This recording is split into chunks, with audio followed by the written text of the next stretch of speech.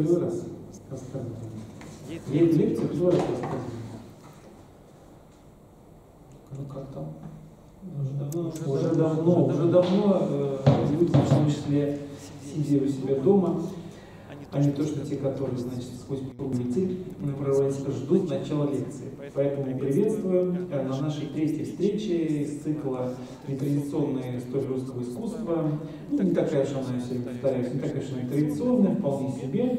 Э, Но вот я обнаружил, что э, появилась у нас такая, даже я, не думал о ней, такая мы все время говорим об особенностях русского искусства, чем русская вот эта ветвь европейской живописи, ро- европейского искусства, ну вот как-то вот отличается от э, остальных своих э, западных собратьев.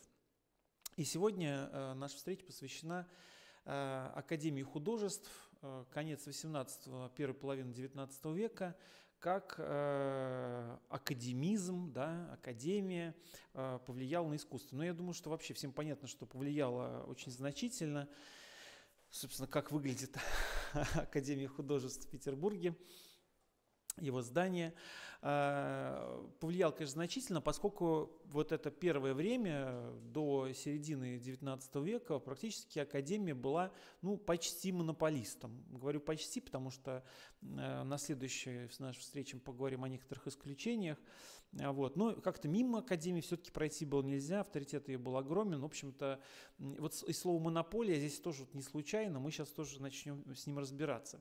Э, Если начать вот с каких-то просто фактов, да, что Академия художеств э, под названием, первое ее название Академия трех знатнейших художеств была открыта, учреждена, точнее, в 1757 году, еще Елизаветой Петровной, но все-таки такая более, что ли, основательная дата для э, Академии – это 1764 год, когда уже Екатерина II, то есть э, впервые вот эта Академия, она была открыта скорее как такой филиал отделения Академии наук.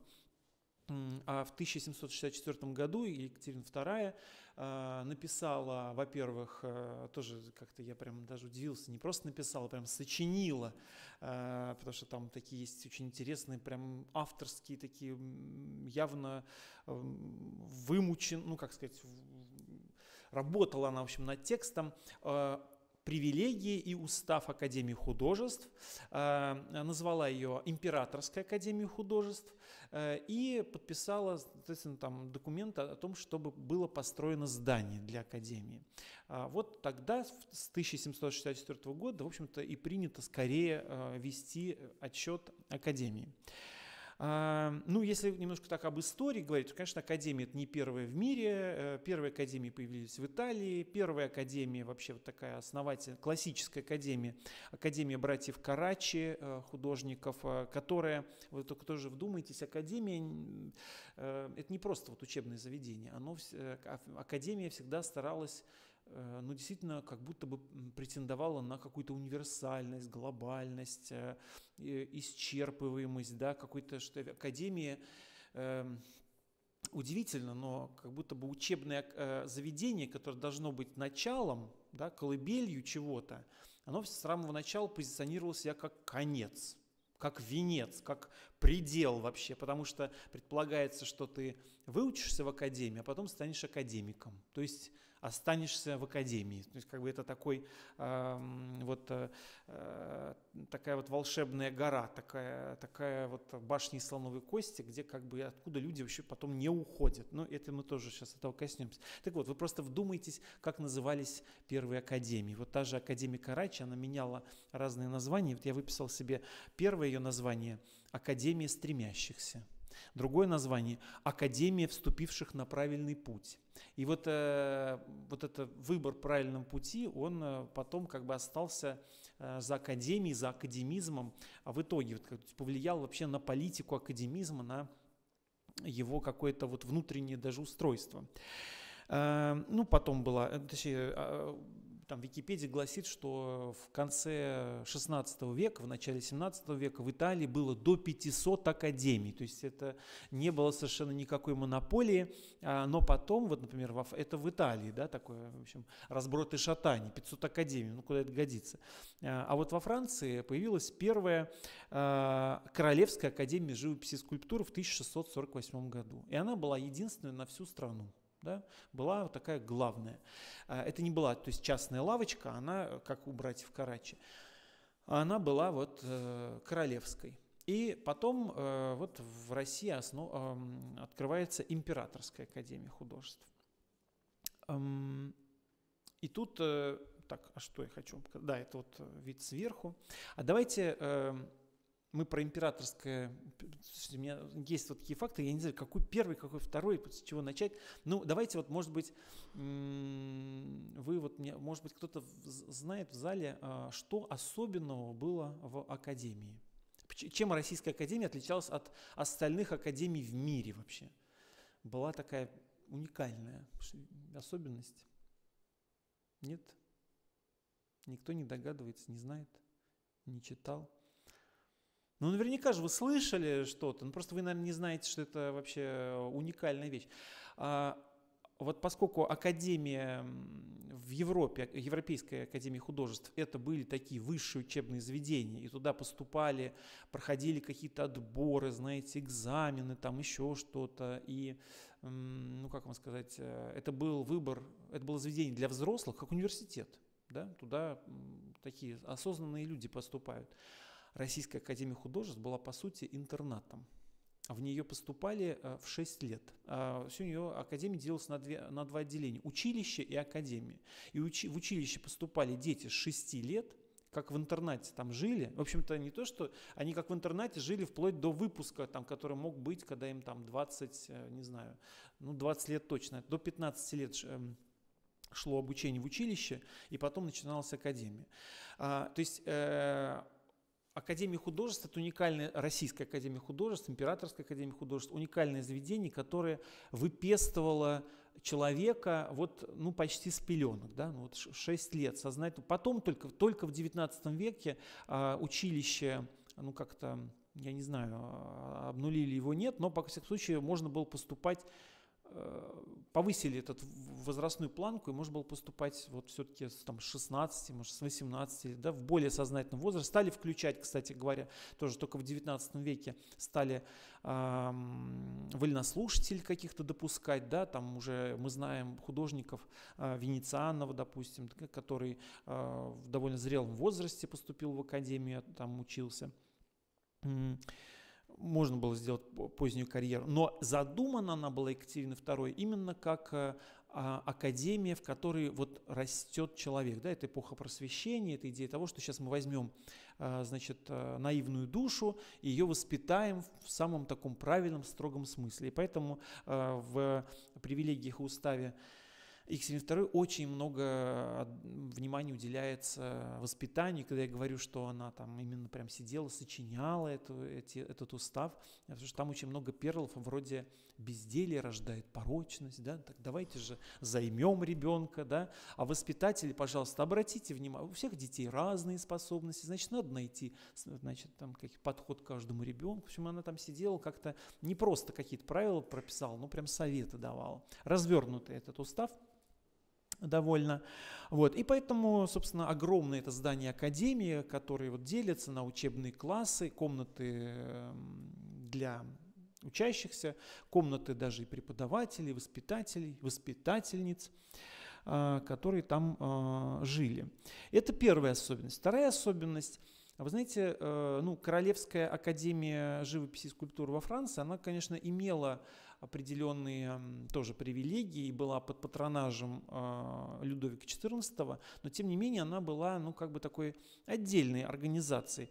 А Императорская академия художеств, вот, кстати, это страница из привилегий э, привилегии и устава Академии художеств, написанный самой императрицей самодержицей Всероссийской Екатериной II, особенность да, э, Российской императорской академии, что она была именно императорская, то есть она в общем-то, я могу даже, собственно, зачитать, да? А, одно из первых, один из первых пунктов привилегии, я хочу подчеркнуть, да, не просто устав, а какие-то особые, особенные права были у Академии художеств. Вот что это за права? Для лучшего ободрения успеха мы, пишет Екатерина II, приняв в свое покровительство сию академию с воспитательным при ней училищем, определяем ей навсегда, ключевое слово, быть под единственным, ключевое слово, нашим императорским видением или ведением, снабдя оную потребную на нее сумму.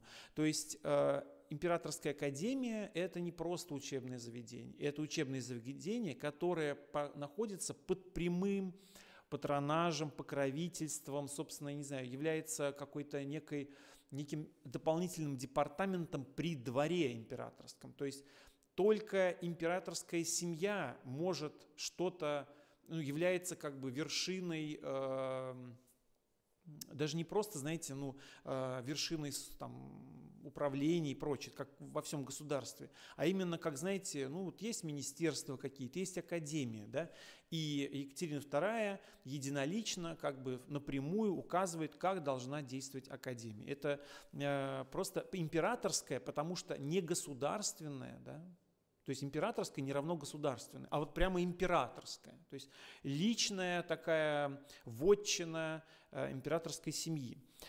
Э, на что потом, э, собственно, активно ссылались сами директора Академии, активно, значит, писали об этом, что вот Екатерина II еще говорила, что мы под императорской семьей только ходим. И э, так, сейчас, что я хочу сказать.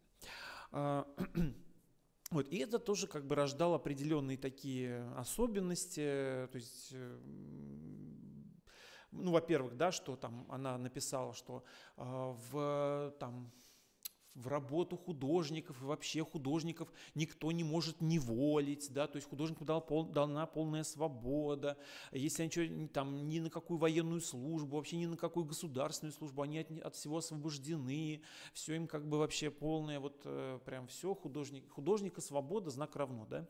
А, но тоже, там, например, любопытная такая э, была деталь, мне очень понравилась, привилегия такая – когда же из принадлежащих к сей академии кто окажет себя в каковом преступлении, то по маловажным делам судим быть имеет всей же академии, а в важнейших отсылать куда надлежит по законам. Впрочем, никакое место не может взять его, художника, да, члена академии, без ведома и сношений с академией. То есть академия это действительно прям такое отдельное, да, там э, не то, что, ну, может, не выше, но как бы наравне с Министерством там, юстиции, да, с э, правами, с судом, потому что если маленькие преступления, судим он будет в этой же академии. Да? Не отдаем ему не, как бы все. Художник, академик, учащийся академии – это такое вот особое каста людей, как бы они вообще с отдельным судом судим. Если вдруг возникают какие-то споры, писать мне, да, писать императору, императорской семье, вот они только решают, что происходит с художниками. Если это как бы, ну правда, особенная такая вообще ситуация, да, когда вот художник это прям вот такой вот святой человек. Вот только, значит, императорская семья в это все входит в его дела. А, они, да, там а, выделяются какие-то деньги, да, там, то есть художник растет, вы только просто вдумайтесь, как, как формировался русский художник 19, начала 19 века. Ну, по сути, и всего 19 века, потому что Академия все-таки влияла ну, весь 19 век, 18, вторая половина 18-19 века. То есть он мальчик попадает, отнимается у семьи, да, попадает а, в этот интернат или пансион, живет, не видит белого, когда читаешь литературу об Академии художеств, а, там, например, советскую, да, для которой было важно, а, знали ли учащиеся о художнике, о том, что происходило в мире, политических событиях, например, о восстании Пугачева при Екатерине II или еще о чем-нибудь, или о Великой Французской революции, пишут так. Наверное, они догадывались, они видели из окна училища, воодушевление, которое происходило на улице. То есть вы представляете, как бы То есть э, мы не, я не встретил в литературе э, уверенности исследователей в том, что учащиеся вообще выходили на улицу. Да? А, они полностью как бы жили вот в этом замкнутом, давайте я покажу, да, немножко напоминающем тюрьму пространстве, э, да, с внутренними дворами, да, с какими-то там комнатами всеми, какими нужно, там музей, там библиотека, там, там больница, там, э, в общем, их жилые комнаты.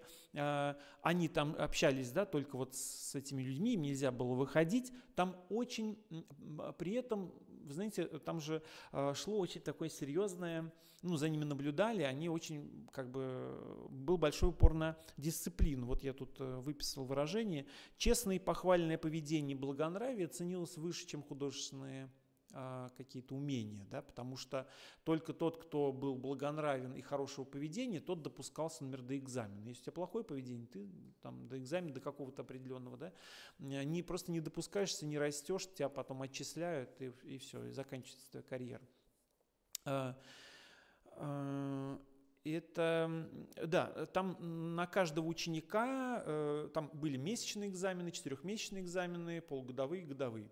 А, соответственно, каждый экзамен э, писалась э, записка, да, там воспитатель, там ректор, директор, там профессор, академик, все должны были писать отчеты о том, как ведет себя этот ученик, тот ученик. То есть на самом деле, если мы поднимем архивы Академии художеств, мы узнаем про каждого художника 18, э, простите, 19 века, как, каким он был подростком. Шалопай там, или наоборот послушный, характер одинокий, угрюмый, там про Кипренского, что ли, да, там писали в отчетах, типа вот он э, сторонится ребят, там, других детей. То есть э, это такая слежка, ну не то что слежка, но все было запротоколировано в отчетах, как бы кто как рисует и кто, кто как себя ведет. И это вот у нас, слава богу, прям, э, что я вам скажу, каждый, ведь, ведь каждый студент э, и академик отчитывался, академия писала отчеты, которые были со, ежегодные, которые были составлены из отчетов своих там профессоров, академиков и студентов, а, в которых, например, писалось, кто какие картины написал за год, кто, значит, что сделал. Если посылали, э, там же, что такое, значит, финал академии, заканчиваешь академию, если ты получаешь золотую медаль а, и становишься, ну, как бы получаешь право на а, значит, поездку в Италию, вообще в Европу, то ты, соответственно, ты не просто поехал в Европу, там, кстати, она, эта поездка чуть ли не тоже трехлетняя была, то есть ты едешь на несколько лет, и ты каждый, там, не знаю, месяц, ты постоянно пишешь отчеты, куда ты сходил, какие ты картины видел, что тебе, значит, там впечатлило, то есть это просто такое вот, э, ну, правда, ну, ну, я вообще хотел сравнить с какой-то антиутопией, да, в которой как бы вот просто каждый да, да, потому что ты там, это не Инстаграм, потому что ты не пишешь, ты не пишешь, э, встретил прекрасную девушку, поужинал в интересном месте и так далее. Ты пишешь, видел, познакомился с таким художником, посмотрел вот такие картины, сходил в музей, увидел такую коллекцию. Вот в этом храме чудесные росписи, значит, достоинства, недостатки, чему научился, что написал, какой-то блок работ тебе надо отправить, ты должен написать финальную работу какую-то, да, которая тебе зачтется за то, что ты, значит, на государственные деньги ездишь. Вот. То есть это а, человек с шести, я повторюсь, да, лет, а, ну, может быть, там постарше, позже, да, там где-то третье 19 века, с 30-х годов 19 века как какие-то были, там поменялся устав, но что э, он рос в атмосфере постоянного контроля, фиксации, что он делает, он честь как бы страны, он надежда нации, он передовой, представитель передового там, человечества какого-то, да, э, просвещенного. Э, и вот это рождало определенную фигуру академика – да, фигуру российского художника, которую, я думаю, весь 19 век царствовала. И, в общем-то, в какой-то, ну, то есть по русскому искусству, на русское искусство это тоже накладывало определенные отношения, мы еще про это поговорим. Но мы очень долго про академию, да, э, давайте двинемся дальше. Э, так, давайте двинемся дальше. Да, это рисунок как раз Венецианова, э, натурный класс в Академии художеств. Просто чтобы вы представляли, как, как это выглядело. А, итак, они рождены для лучшей доли, э, для какого-то, значит, улучшения человечества и прославления нации. И э, вот я мне попалась такое, такая ссылка к Дидро, а Дени Дидро был популярным философом у Екатерины II вообще в России, и он, э, а Дидро, он же был первым художественным критиком. Вот недавно в Пушкинском музее была выставка на эту тему «Салоны Дидро». И у него была такая мысль, что для художника самое главное – мораль и перспектива. Смысл какой-то, да, в работе должна быть мораль, и в работе должна быть перспектива, владение объемом, пространством, то есть вот какими-то такими чисто художественными, технарскими вещами. И, э, наверное, это, знаете, такая вот тоже беда, что ли, беда, не беда, что мы стали жить, э, ну, Академия художеств жила как бы разделяя и одновременно акцентируя внимание вот на этих двух полюсах, которые она как бы пыталась поженить, но э, от этого брака, условно говоря, возникали довольно такие, знаете, суховатые дети, скажу я вам.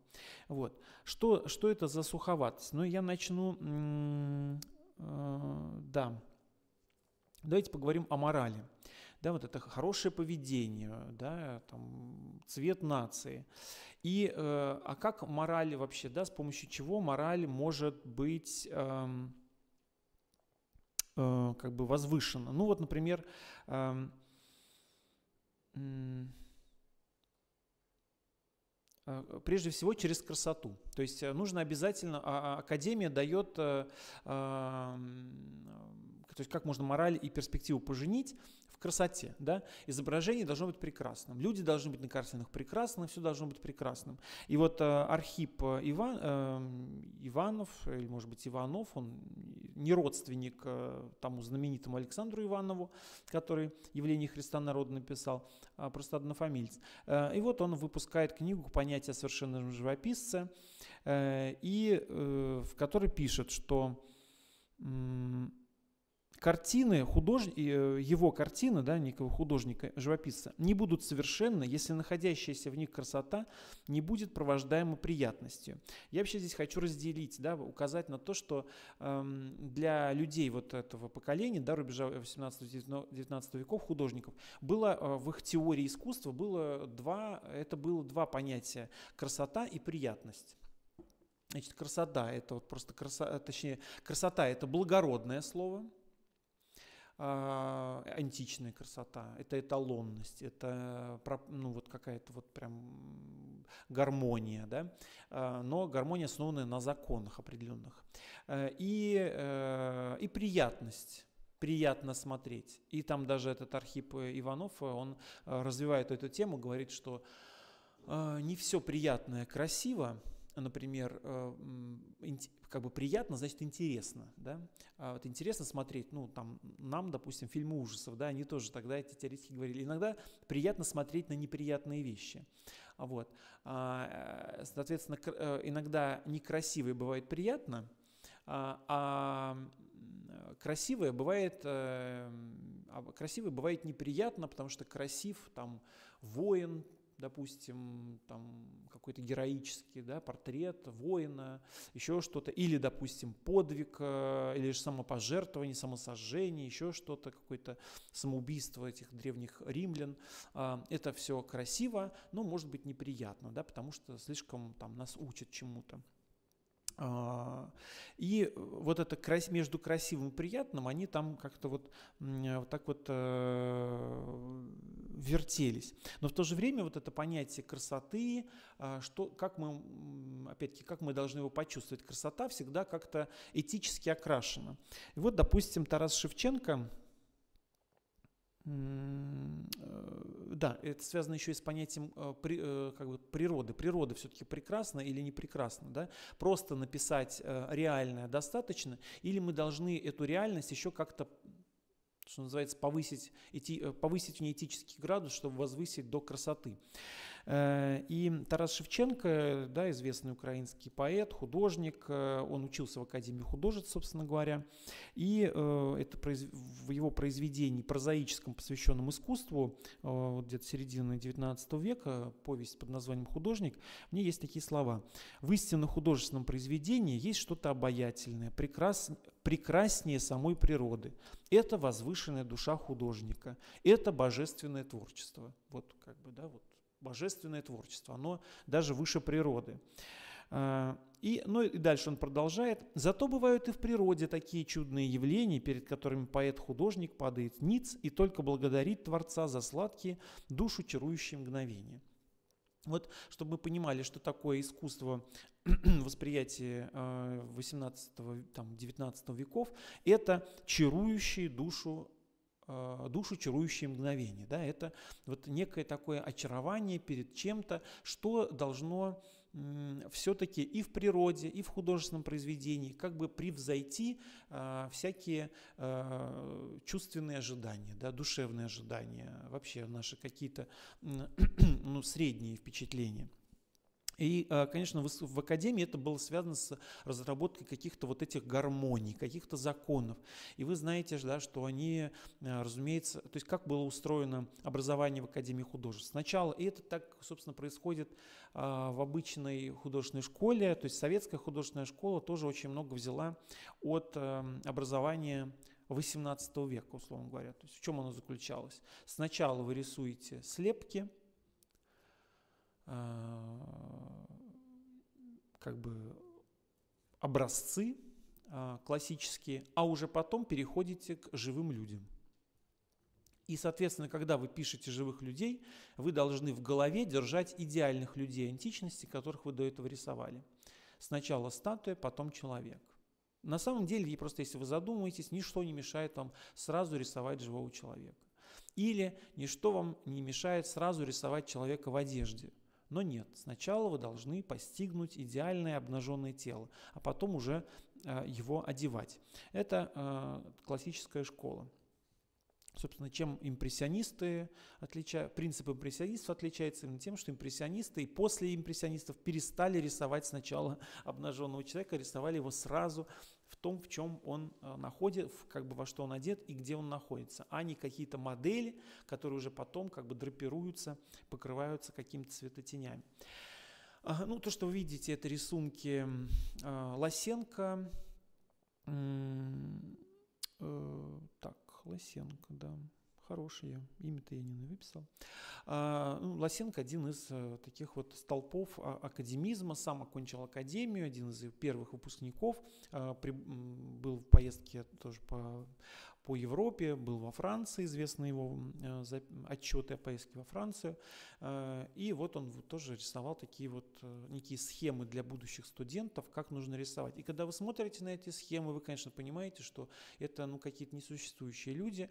Вам предлагается, значит, рисовать людей на основе кругов каких-то, да, определенных золотых сечений, которые, конечно, может быть и существуют какие-то пропорции в человеческом теле, но не всегда они так строги, так точны, как вам это рекомендует делать э, Лосенко. И уж тем более э, совершенно как бы фантастика, это помешанность на античном а, профиле, таком, это немножко такая выдуманная вещь анатомически, то есть, э, что чем, чем прямее линия лба Э, как бы переходящее а, в нос, тем значит, прекраснее лицо. Хотя таких лиц ну, в природе почти нет. А, так, да, и, собственно говоря, это рождает вот такие вот фантастические картины. Перед вами работа а, Андрея Иванова, это как раз это уже отец Александра Иванова. Адам и Ева с детьми под деревом после изгнания из рая, 1803 год. Если вы смотрите на эти тела, вы видите, что они абсолютно, ну, как бы такие выдрессированные тела, а, атлетические, э, и более того, они даже не столько похожи на а, тела людей, сколько на тела античных статуй. Особенно в эту пользу говорят вот эти вот чудесные складочки, которые есть, например, на скульптуре Поликлета. А, так, который называется... ну и неважно, а вот а на античных скульптурах, но как бы у людей, ну не знаю, может быть у каких-то, эм, как они называются-то, суператлетов, они, может быть, и наблюдаются. Да, довольно такая искусственная, э, искусственная сцена. И более того, когда вы ой, смотрите да, на вот этот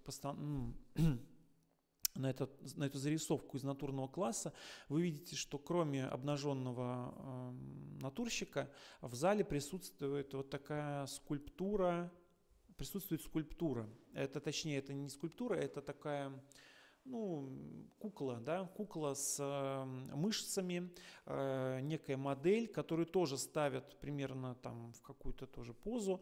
Э, одним словом, она присутствует рядом с натурщиком, чтобы художники подглядывали, на, ну, как бы смотрели на устройство там мышц, на какое-то еще более гармоничное тело, чем у натурщика. И э, всегда как-то их могли связывать, да. Никогда не доверяли зрению. Всегда нужно было все проверять через анатомию, анатомию или через там, условно математику, через пропорции, а, но не обязательно рисовать то, что ты видишь. А, более того, а, более того, мне очень нравится такая фраза, то, что тот же Андрей Иванов пишет своему сыну Александру. «Теперь у нас в Академии с преподаванием воспитанником теории изящных искусств Григоровичем строго держится правило копировать натуру что и весьма похвально, особливо, когда натура предъявляется в хорошем виде. Но как это бывает очень редко, и даже невозможно найти человека во всех частях совершенным, давайте Адам и Еву посмотрим, а, совершенным, то не следует ли те его несовершенства дополнять тем, чему художник научается предварительно в гипсовом классе, рисованием с антиков, и не должно ли приучать молодых людей к тому заблаговременно, чтобы не сделать их слепыми подражателями натуре без разбора? Вот слышите, да? Ни в коем случае нельзя стать подражателем натуре без разбора. Надо как-то все-таки соизмерять э, натуру, природу с антиками, да? с лучшим. Зачем писать да, природу, когда есть идеал? Ну и, в общем, здесь вот я показываю несколько работ. Э, э, примеры ранних э, академических работ. Вот это Акимов, художник Акимов, Прометей делает статую по приказанию Минервы. Но очень странные позы, это, конечно, вы видите, вот особенно, ну, скульптура э, Прометея довольно да, какое-то странное положение, он как-то весь спирально выгнулся. А, это, конечно, все постановки. То есть вот эти первые живописные картины, понимаете, ну, ну негде вообще же найти э, чел, натуру, да, найти натурщиков, и поэтому все, что рисуется, все рисуется в стенах академии. А, и даже из каких-то академических студий. То есть э, вы сначала ходили в натурный класс, рисовали людей, ну просто натурщиков, их все, вот все ваши одноклассники нарисовали, а потом вы из этих э, уже рисунков делаете, э, делаете, компонуете какую-то другую картину.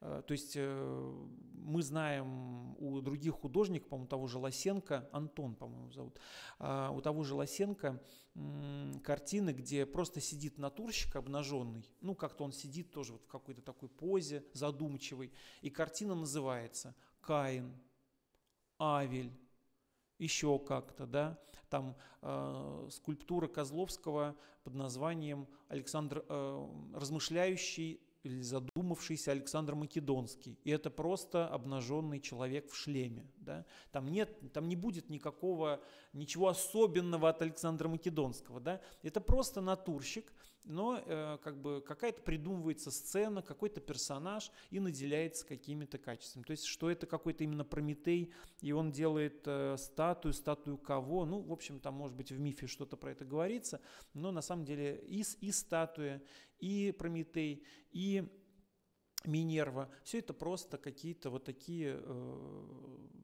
студии учебные, которые сходятся вместе в какую-то, компонуются в какую-то картину. А, Академия была помешана на двух вещах. Это были такие два столпа Академии художеств, если мы говорим именно про живопись. Это рисунок и композиция. или компоновка. Тогда, по-моему, не, не использовали слово композиция, компоновка. Э, рисовали, вы знаете, просто до изнеможения. А, сейчас, подождите, это я вам да, вот показываю еще. Э, да, рисовали до изнеможения. А, известно, особенно, опять-таки, начинали с антиков, начинали со скульптур. И известно, что а, если натурщики менялись, да, если натурщики, они сегодня одни, завтра другие, поза, они, они могут уставать, меняется поза э, и прочее, прочее, то скульптуру рисуй просто вообще не хочу, она все время вот стоит, тебя ждет. И в итоге э, известны байки такие про выпускников академии, что они могли нарисовать там, Самс, э, не, не Самсона, простите, а какого-нибудь Геркулеса, э, на, отдыхающего Геракла, там, да, или какую-то другую статую, там Лаокоона могли нарисовать э, э, закрытыми глазами и начиная с большого пальца ноги, там, условно говоря, одной линии, потому что они очень хорошо, ну, за, получается, сколько там, 15 лет, да, э, за 15 лет изучали э, эти скульптуры, и, соответственно, те, кого они писали, конечно, начинали обладать скульптурными чертами, просто потому что они скульптуры рисовали больше, чем живых людей. А, и также было э, важнейшее такое задание, тоже как бы сначала они рисуют анти, даже до антиков они перерисовывают картины. То есть очень много было построено на копиях. Копии, копии, копии, копии. А, читаешь отчеты Академии художеств. Такой-то академик изготовил копию такой-то картины, такой-то академик изготовил копию секой-то картины. Все они изготавливали копии, гравировали, писали картины по гравюрам, делали гравюры с картин. То есть это э, действительно Академия художеств была построена, ну правда, на очень большой доле муштры, которая, и это тоже многие исследователи говорят, каких-то художников погубила, то есть абсолютно превратила в таких безвольных копиистов, других, э, ну а кого-то, значит, вознесла, они смогли это как-то использовать, а, синтезировать э, свое чужое и получить какой-то новый продукт. А то, что я вам сейчас показываю, извините за плохое качество вот второго правого изображения, это, сейчас скажу, э, это Григорий Миха... вот слева, Григорий Михайлов «Прометей» 30... 1839 года. И справа это тоже Прометей прикованный художника Павла, по-моему, Венига 1892 года. То есть прошло 50 а, лет там, да? Ну, около того. 30 а, там с чем-то лет. Очень схожие позы, какие-то решения. Ну, возраст поменялся, да? Но а, хочу подчеркнуть, да, то есть прошло, то есть первая половина 19 века, конец 19 века, решение идеи, как изобразить Прометея, ну, как бы вот мало изменились. Конечно, были и другие Прометеи в Академии художеств ну, вообще-то он как, как минимум может еще стоять, вот, или сидеть, или еще что-то, да. Орел может непосредственно клевать его э, там тело, еще как-то.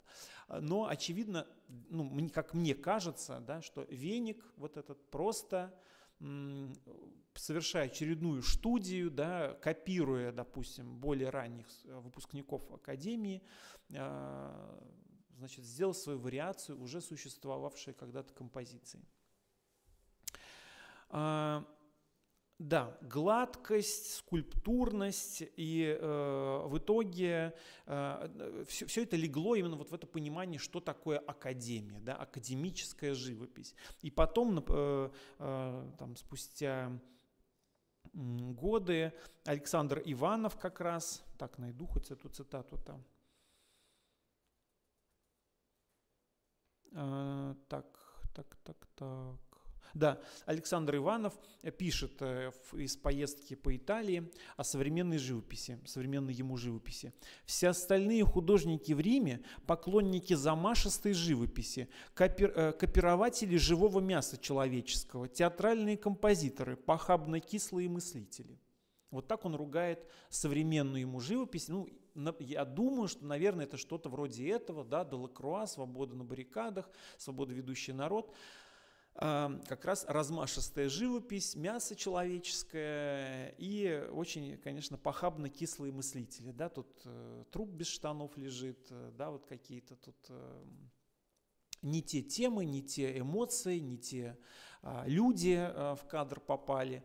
И, конечно, наверное, Иванову совершенно эта работа 1830 года, совершенно она ему притила и была, а, считал, он вполне мог, вероятно, считать ее э, и подобной ей живопись, романтическую, вот э, живопись Делакруа, какой-то неприемлемый. Да? Про Делакруа даже его собственные соотечественники, современники говорили, что он там пишет картины как хвостом лошади.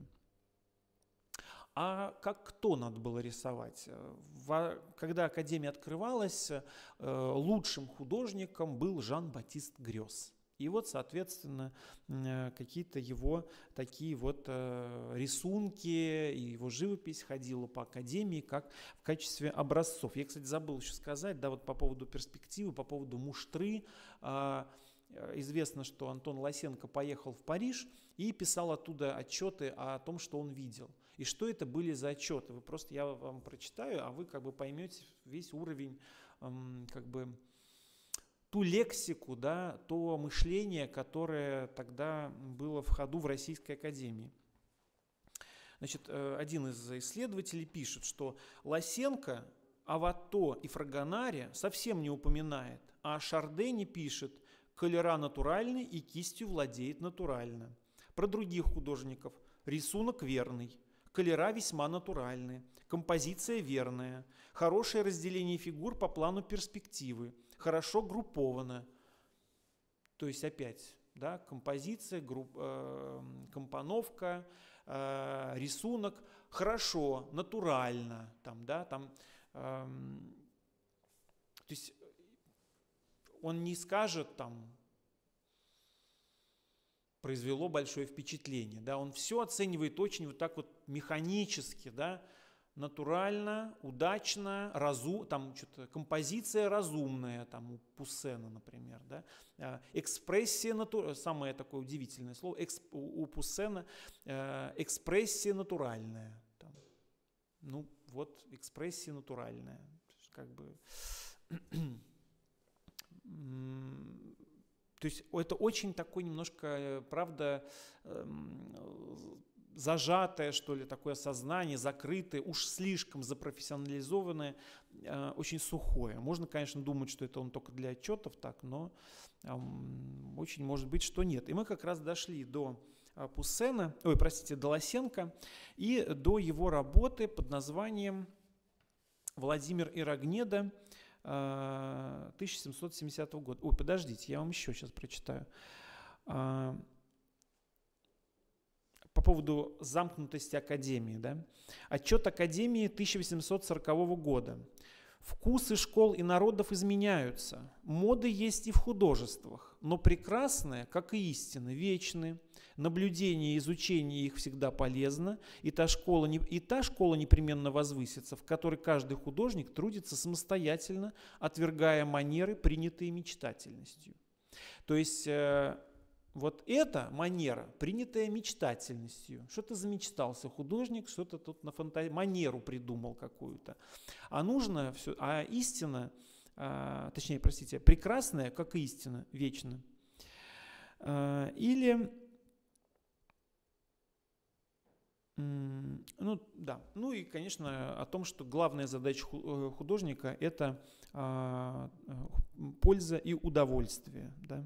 И эм, так, непременно надобно, чтобы художества проповедовали нравственность, возвышали и укрепляли дух народный, чтобы они вместе утешали и поучали. Если же они не достигнут сей цели или от он и отойдут, то недостойны никаких похвал, пишет Писарев – Э, автор э, э, значит, там, историй, историй для художников. Да, ну вот давайте Лосенко, такая программная работа. Владимир Ирогнеда, она тоже показывает особенности именно русской академии, как они э, делали картины. Берется русский сюжет, э, если коротко, князь Владимир, это еще до крещения, э, пошел войной э, на Пол, точнее, как он, как дело было? Он решил посвататься к половецкой княжне Рогнеде. Она ему отказала, сказала, что не пойдет за рабыниного сына. Известно, что князь Владимир является, являлся побочным э, ребенком. И э, как бы его это оскорбило глубоко, он пошел войной, э, захватил ее город, э, убил ее, как, как бы, да, убил, казнил ее отца и братьев, и как бы уже в разоренном городе, значит, взял ее в плен э, и, собственно, заставил на себе жениться. Она стала там одной из его там скольки-то жен, я уже не помню, сколько их было, но был он многоженцем. И в этой сцене он как бы врывается во дворец со своими солдатами, э, она вся в слезах, она опозорена, обесчещена, она лишилась родных, их убил этот злодей Владимир, но он любезно берет ее за, за руку, э, касается другой груди и как бы извиняется, и как бы говорит, что, в общем, я же предупреждал, ну, в общем, не знаю, что. Ой, простите, что-то я тут портачил. А, ну, пожалуйста. Да. А, и Лосенко там в сопроводительном тексте писал, что вот его мысль о том, что а, убил-то он ее отца и братьев в гневе, но приходит время раскаяться, приходит время, не знаю, и извиниться, да, и как-то, в общем, с дамой нужно быть более галантным, это с мужчинами как-то можно грубее, а вот, и, соответственно, а, учат э, тому, что вот злодей раскаивается, там как-то женская красота растапля, растапливает сердца, ну, в общем, что-то вот про, про, вот про все это, про добрые чувства. Одним словом, картина учит добрым чувствам и каким-то каким светским манерам. Она очень так гендерно поделена. Вы можете видеть, что на переднем плане, э, точнее, как на переднем, в общем, есть три женские фигуры, отображающие в том числе возраста женщины. Юная девушка, э, значит, вроде женщина уже такая, ну, может быть, как-то там 25-30, э, и старушка. Вероятно, мать Рогнеды. А, и э, женская часть, э, то есть, простите, мужская часть – это Владимир, и это вот эти два стражника, странные сзади, которые как бы ждут, чем закончатся переговоры. А, одним словом, знаете, уже сразу мысль семейная появляется. Да? То есть это как бы мы видим, что это дом, да? это какие-то частные, очень семейные отношения. В том плане, что ну, перед вами вообще будущий муж и жена, перед вами э, поколение вот, ж, ж, семьи Рогнеды, перед вами да, какие-то вот э, служанка, вероятно, да, и, возможно, какая-то вот мать или родственница. Э, и вот э, Э, мужчины и женщины делятся тоже по степени активности, то есть одни повержены, а другие как бы наступают, побеждают разными путями, то ли силой, то ли убеждением. И второй момент, который еще важно, чтобы мы обратили внимание, это сложный, сложная то есть в картине, в картину вложена сложная ситуация со сложным эмоциональным таким э, содержанием. То есть нам нужно изобразить Владимира, который только что убил родственников Рогнеды, но при этом признается ей в любви. И нам нужно изобразить Рогнеду, который только что погибли род, э, отец и братья, но э, а что делать?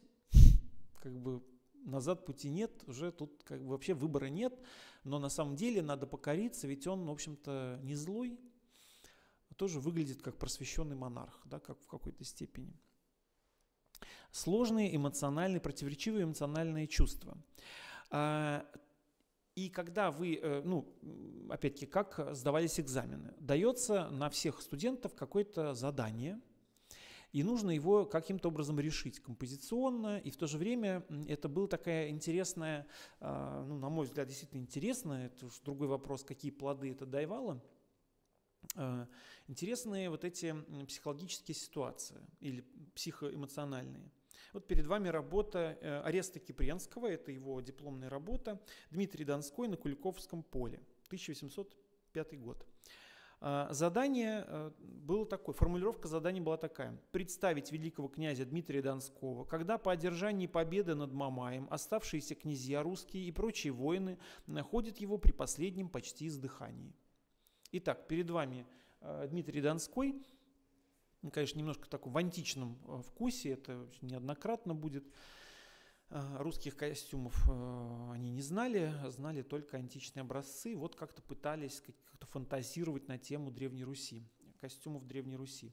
Итак, Дмитрий Донской должен одновременно быть на последнем издыхании, умирать от ранений, от усталости, да, только что был тяжелый бой, и в то же время радоваться от вести, что русские победили. Вот умирать и радоваться – да? И вот Кипренский как-то вот там разруливал эту ситуацию. А, или другой пример. А, Александр Иванов, Приам, на, и спрашивающий у Ахиллеса тело Гектора. Из истории из Илиады. А, Приам, царь Трои, приходит просить тело своего погибшего в бою сына.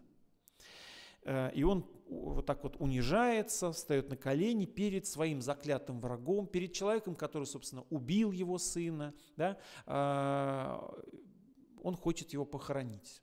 Но при этом, да, то есть он должен умолять, он должен изображать раскаяние, он должен убеждать как-то, да, он должен ссылаться на седины, на еще на что-то, да, как-то, а, что называется, вспоминать как бы все святое, что, да, там как-то вот просить, но при этом это тот самый человек, который виноват в этом во всем, да, это вот просто это, это твой враг заклятый. И как это сложная психологическая ситуация, и как, соответственно, задача художника попробовать ее как-то решить. Ну, честно говоря, когда я смотрю на эту работу, я не уверен, что можно вообще ее решить, и э, действительно ли как-то вот это изображение э, передает эти эмоции, то есть кажется, что все-таки одна из эмоций побеждает, в данном случае мольба. Мы никак здесь не можем увидеть э, никакого никакого неприятия со стороны Приама. То ли он как бы совершенно расслаблен, смерть сына его так а, значит, поразило, что он готов а, вообще, а, что называется, как-то ласкается, да, он так к плечу Ахи, Ахиллеса, вот, э, скорее более сложным выглядит лицо Ахиллеса, такое смесь презрения, да, какого-то такого, что вроде как же ты старик, вроде я понимаю, как бы, что ты просишь, но как же ты можешь вообще, как ты дошел-то вообще до моего дома, как тебе пришло в голову, что я могу э, твою просьбу удовлетворить. Э, кроме, да, э, и Тут вы понимаете, что на самом деле были вот эти формулировки, да, я уже одно зачитал, были формулировки, каким должно быть задание, да, что должен изображать художник. И здесь мне очень нравится такая фраза, э, про художников XVIII века в одной из книг э, была такая фраза. У автора, то есть у художника, нет прямого доступа к действительности, потому что у него на пути всегда стоит слово, всегда на пути стоит вот это короткое описание, что ему нужно изобразить. Э, или же он э, берет информацию из письменных источников. А, ну, вы мне скажете, конечно, ведь Академия художеств, там же не только исторические картины, там были и пейзажи, и пейзажисты, и портретисты, и медальеры, да, но в, действительно были разные отделения, разные художники учились разному и разные сдавали экзамены. Но э, в Академии художеств была иерархия жесткая, и высшим искусством была историческая живопись. Именно поэтому Кипренский, которого мы э, больше знаем как портретиста, все-таки мечтал и считал, что а идеал искусства – это историческая живопись. Ну, как историческая, то есть это и мифологические сюжеты сюда тоже, литературные сюда тоже входили. То есть высшее назначение художника – это писать вот эти самые эмоционально-психологические сцены с э, моментами там, подвигов, с какими-то важными эм, событиями из истории России или мира, и про, или Библии, да, то есть э, должна быть картина со смыслом, а не натюрморт, не пейзаж, не, и даже не бытовой жанр, который тоже считался, ну, чем-то вот таким вот э, не особо интересным. Даже э, хочу тоже что-то э, забегая вперед, забегая вперед, а, забегая сильно вперед, вот про эту, да, а, это Венецианов,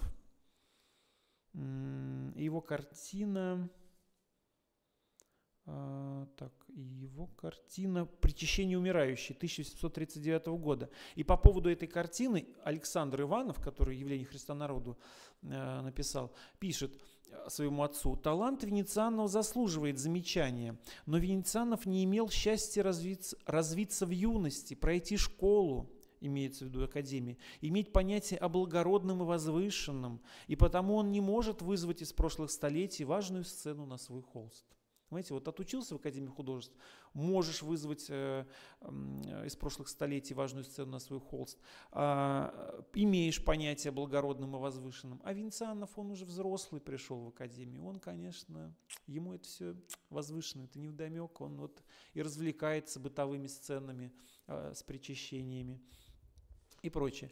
А мы люди образованные, и мы действуем по правилам. Так вот, вот эти тексты, которые назидали художников. Ну, вот были эти формулировки. Собственно, ведь э, если, да, тоже забегая сильно вперед, а, из-за чего Академия, авторитет Академии пошатнулся, в какой момент, да, когда группа, там был так называемый бунт 14, мы о нем будем говорить на следующей встрече, э, художники, группа художников, которые сказали, мы не будем, а, мы будем сдавать экзамен, писать картину на золотую медаль, только если нам отменят тему, только если тема будет свободной.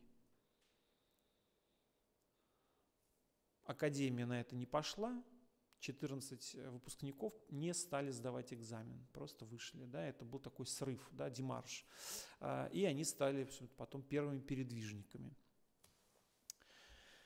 А, далее понять, что можно э, жить, развиваться, э, делать карьеру без участия Академии художеств, без золотой медали, без поездки в Италию. Но я вам показываю сейчас страницу из э, книги «Предметы для художников», избранные из российской истории, славянского баснословия, из русских сочинений в стихах и в прозе некоего А. Писарева. И вот этот самый Писарев э, в своей книге, 807 год, э, прям вот им перечисляет. Вот вы не знаете, про что писать кар картины? Сейчас я вам дам вот какие-то воодушевляющие вас сюжеты. И первый сюжет, который который у него значится в его в хронологии. Так, немножко я... Да, вот. А, итак, он пишет. Это э, сюжет называется «Смерть гостомысла». Картина представит мудрого, благочестивого гостомысла на смертном одре. Он окружен старейшинами земли своей от славян, Чуди, Веси, Мери, Кривич и Дригович – а, или Дрягович. Все они, кажется, готовы с ним вместе быть жертвой злой смерти. В стране виден молодой славянский воин, который в отчаянии, в гневе своем рвет свиток, завещание гостомысла. Это Вадим. Известно по Иакимовой летописи, что Вадим, сын старшей дочери гостомысла, был отрешен от наследия за Ненегош-бе, как э, писала летопись. Если пожелает... А, я вот здесь пока остановлюсь. А, и вот мы как раз это перед вами рисунок, э, рисунок, э, опа, вот я не скопировал, так, такая сложная фамилия, Реп, э, Репнин Фомин, «Смерть Гостомысла», как раз 1800-е годы, то есть, возможно, она написана как раз по этой книге. И вы видите, лежа, ну, это такой рисунок, да, картины картины не получилось, картину такую мы не знаем, но лежит этот гостомысл, э, представители разных народов собрались вокруг него и плачут, готовы умереть вместе с ним, и рядом вот этот самый э, Вадим, который рвет завещание. Ну, как бы очевидно, что работа написана с книги. И э, вообще история государства российского Карамзина, вот это собрание текстов э, Писарева, да, и вообще Академия художеств подталкивала художников к тому, чтобы они писали картины на русские сюжеты. Но другое дело, что они, опять-таки, не видели Русь, да, не знали, как э, одевались, э, вообще как выглядели русские князья, поэтому их вот так вот э, превращали в античных персонажей. Это перед вами это перед вами. И вот я, видимо, тоже не это. не выписал. Акимов, великий князь Святослав, целующий мать и детей своих по возвращении с э, там какой-то с Днепра, в общем, с какой-то битвы. А, или вот работа эм, того же Андрея Иванова, который отец э, Александра Иванова, единоборство князя Мстислава Удалова с косожским князем Редидиою, 1812 год, ну, конечно, в память о войне 12 года. Он же подвиг молодого киевлянина при осаде Киева печенегами в 968 году, 1810 год. Да? Героизация, такой пафос, античные такие, и анатомия античная, и какие-то решения, не знаю, отсылающие скорее к Давиду и Голиафу, да, или поза бегущего воина, напоминающая Мер, э, бога Меркурия, да, там на крылатых сандалиях, который должен как-то вот бежать. А, или, например, такая вот торжественная работа «Угрюмов въезд Александра Невского в город Псков после одержанной им победы над немцами». Э, это конец XVIII века. 12, а, война 12 года стала, дала повод написать что-то на современную тему. То есть, как вы понимаете, художники вообще, они писали все время про историю и ничего про свое время, как можно найти какой-то героический момент вот в современности.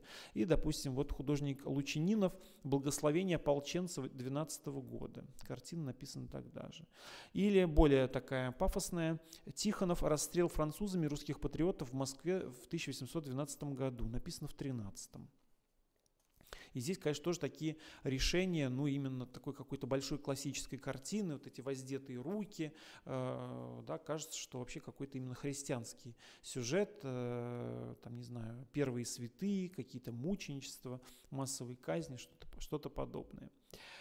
А, много шуму наделала картина э, Егорова «Истязание Спасителя». Ну, как много шума. То есть для нас она такая довольно классическая. Сейчас я попробую ее как-то увеличить, может быть, да?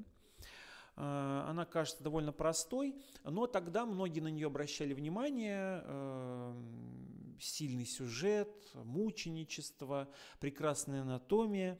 И даже эм, вышла такая первая, можно сказать, эм, критическая статья, арт-критика, первая арт-критика в России – это было сочинение, такая статья Батюшкова «Прогулка по Академии художеств», 1814 год. Надо сказать, что первые арт-критики писали не просто критику, типа «прихожу, вижу такая выставка». Они это обставляли свои размышления в виде э, диалога нескольких участников с разными характерами, условно говоря, с разными взглядами. Такая, такой плюрализм оказывался. И Батюшков, э, Батюшков пишет, э, точнее, у него встречаются ну, сам автор, э, молодой художник, которому нравится, нравится вот такая живопись, и некий, вот я, кстати, не выписал, как-то его там звали, типа не Стародум, но в общем, какая-то такая фамилия, говорящая о том, что он как-то несовременный какой-то, да, какой-то несовременный человек.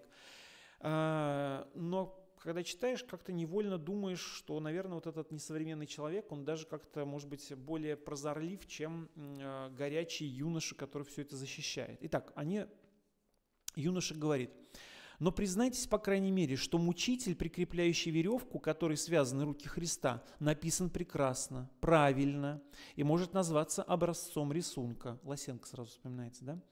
Он ясно доказывает, сколько Егоров силен в рисунке, сколько ему известно анатомии человеческого тела. Вот оригинальность нашего живописца. Оригинальность нашего живописца в том, что он знает анатомию.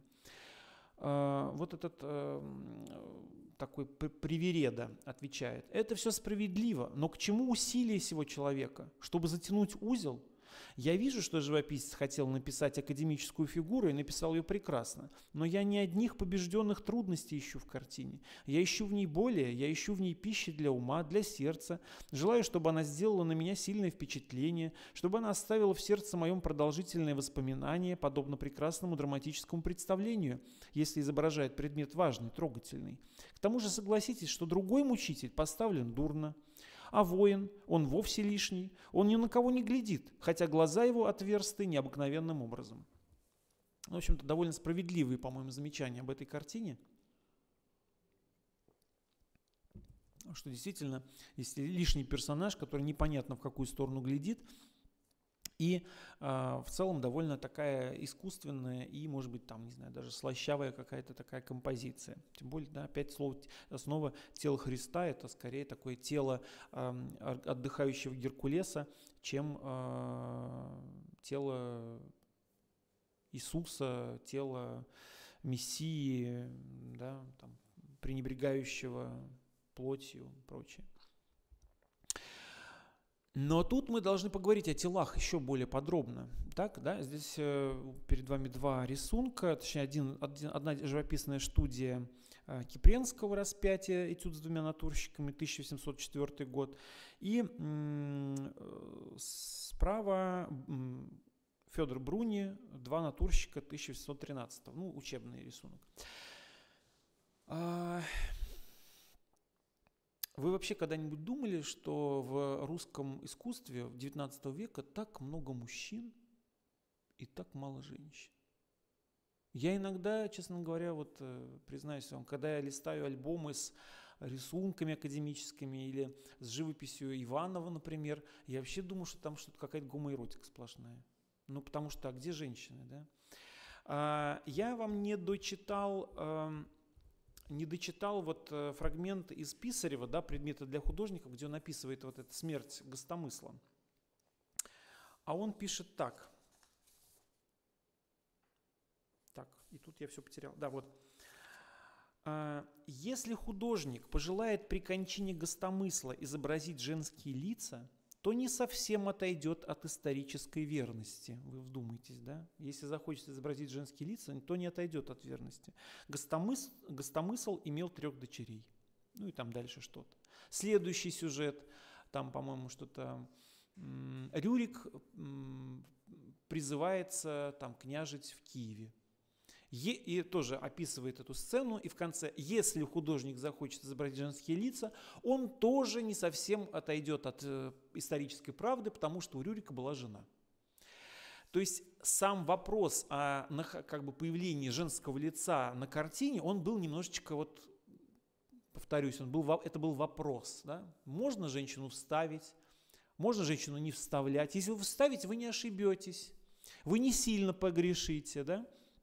Ну, здесь-то, конечно, женщина должна быть. Здесь ее почти нет, вот единственное сверху летает. Здесь женщин нет, здесь женщины вот в углу изображают этот семейный вопрос, матери с детьми. Да, здесь вот тоже есть какие-то женские фигуры. Но на самом деле мы можем найти картины, в которых женщин совсем не будет. И это, знаете, ведь кто же отличает э, российскую, это особенность Российской Академии Художеств. Ну вы представьте себе, это пансионат, интернат, это казарма. Там одни, э, значит, по уставу и подписанным Екатериной II, э, раз в три года прием, набор э, происходит, зачисляются 60 мальчиков. Ну вы представляете себе, 60 там, половозрелых э, личностей, потом там второй набор, третий набор, их, наверное, уже 120, их, наверное, уже 200, да, ну какие еще женщины там? там э, на, потом, это православная страна. Ну, как бы, какие натурщицы? Вы, что вы, как бы, как себе представляете? Э, натурщицы появляются в Академии художеств только в 19, в сери, к середине 19 века.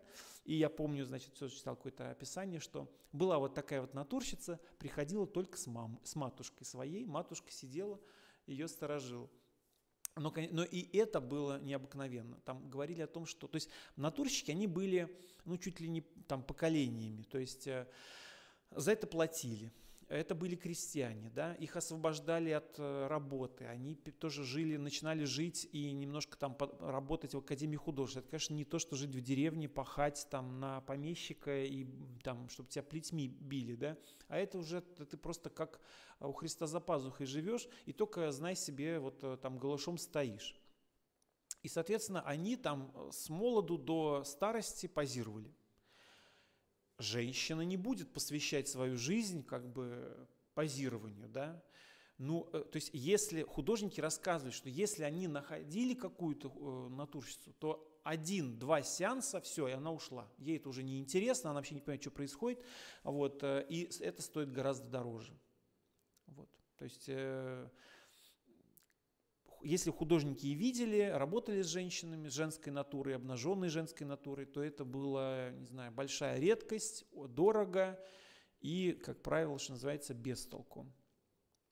Зато они прекрасно умели рисовать мужчин. Опять-таки, с 6 лет, ну там не с 6, ладно, мы же, на, они это только там в академике, да, там пишут э, обнаженку, да, ну то есть, э, то есть после 15, но все равно как бы обнаженную натуру, я, мужчину я знаю, женщину я вообще не знаю, как там что рисовать. И была э, такая знаменитая, э, это я сейчас, да, э, была такая фраза, э, да, как правило, женскую натуру они открывали как раз за границей. Вот в Италии можно было найти натурщиц, которые всю жизнь только и делали, что позировали художникам. Э, но, значит, встречаются такие фразы художников э, из Италии, что стал писать женскую натуру, очень трудно, она вся такая гладкая, зацепиться не за что. То есть, если ты на протяжении 10 лет писал э, только мужчин, то ты, конечно, может, ну, уже вот не поймешь, тут по-другому тело, по другие пропорции, все устроено. Вы даже вспомните эти рисунки Лосенко. Все учебники были с мужчинами только. Да? Женщин, художники наши российские, видали голых только в виде статуй ну, в смысле, могли рисовать. Соответственно, вот когда я говорю, что какая-то статуарность э, в живописи, да, в, обнаженных, в женских обнаженных образах, то э, ну, и в мужских, и в женских, в женских особенно, потому что а где мы вообще возьмем женщин? Они просто брали скульптуры и как-то их там модифицировали. А, перед вами работа а, Матвеева, 1726 год, то есть это еще первая половина 18 века, это до Академии Венера и Амур. И, хотя Матвеев был за границей, вот он тоже как бы плохо понимает, что такое женские пропорции, даже если они античные, да, он делает, как-то видите, ну, довольно, довольно стрёмно. Или гораздо более позже, это Брюлов, «Надежда, питающая любовь», извините за плохую репродукцию, 1000 а, 824 год. А, и тоже вы смотрите на эту грудь и понимаете, что или на это на живот, да, на талию, вы понимаете, что это, ну что же, что-то не, не совсем человеческое, а скорее вот такая вот грудь с вздернутыми, простите за выражение, сосками, это опять-таки больше свойственно скульптуре. И даже вот, ну, мне почему-то очень напоминает Венеру Милосскую. Вот там у, Венер такие соски, такое расположение сосков вообще на теле. А, мне очень, знаете, позабавило, сейчас в художественном музее идет выставка Петрова-Водкина, и там представлена вот такая работа «Юность» 1913 э, года. А, Петров Водкин подавно женщин как бы плохо знал, плохо видел, хотя к 20 веку количество натурщиц увеличивается и уже рисуются натуры, но, но Петров Водкин очень много же занимался самообразованием, он занимался у каких-то частных учителей, э, в иконописных в том числе э, мастерских, и поэтому он вот это как бы женщин видел писал с них, да, а, мало. Э, и потом он учился в Петербурге недолго, потом он учился в Москве какое-то время, но, вероятно, понимаете, вот эта забавная деталь, э, вы видите или нет, э, как он поправил сосок.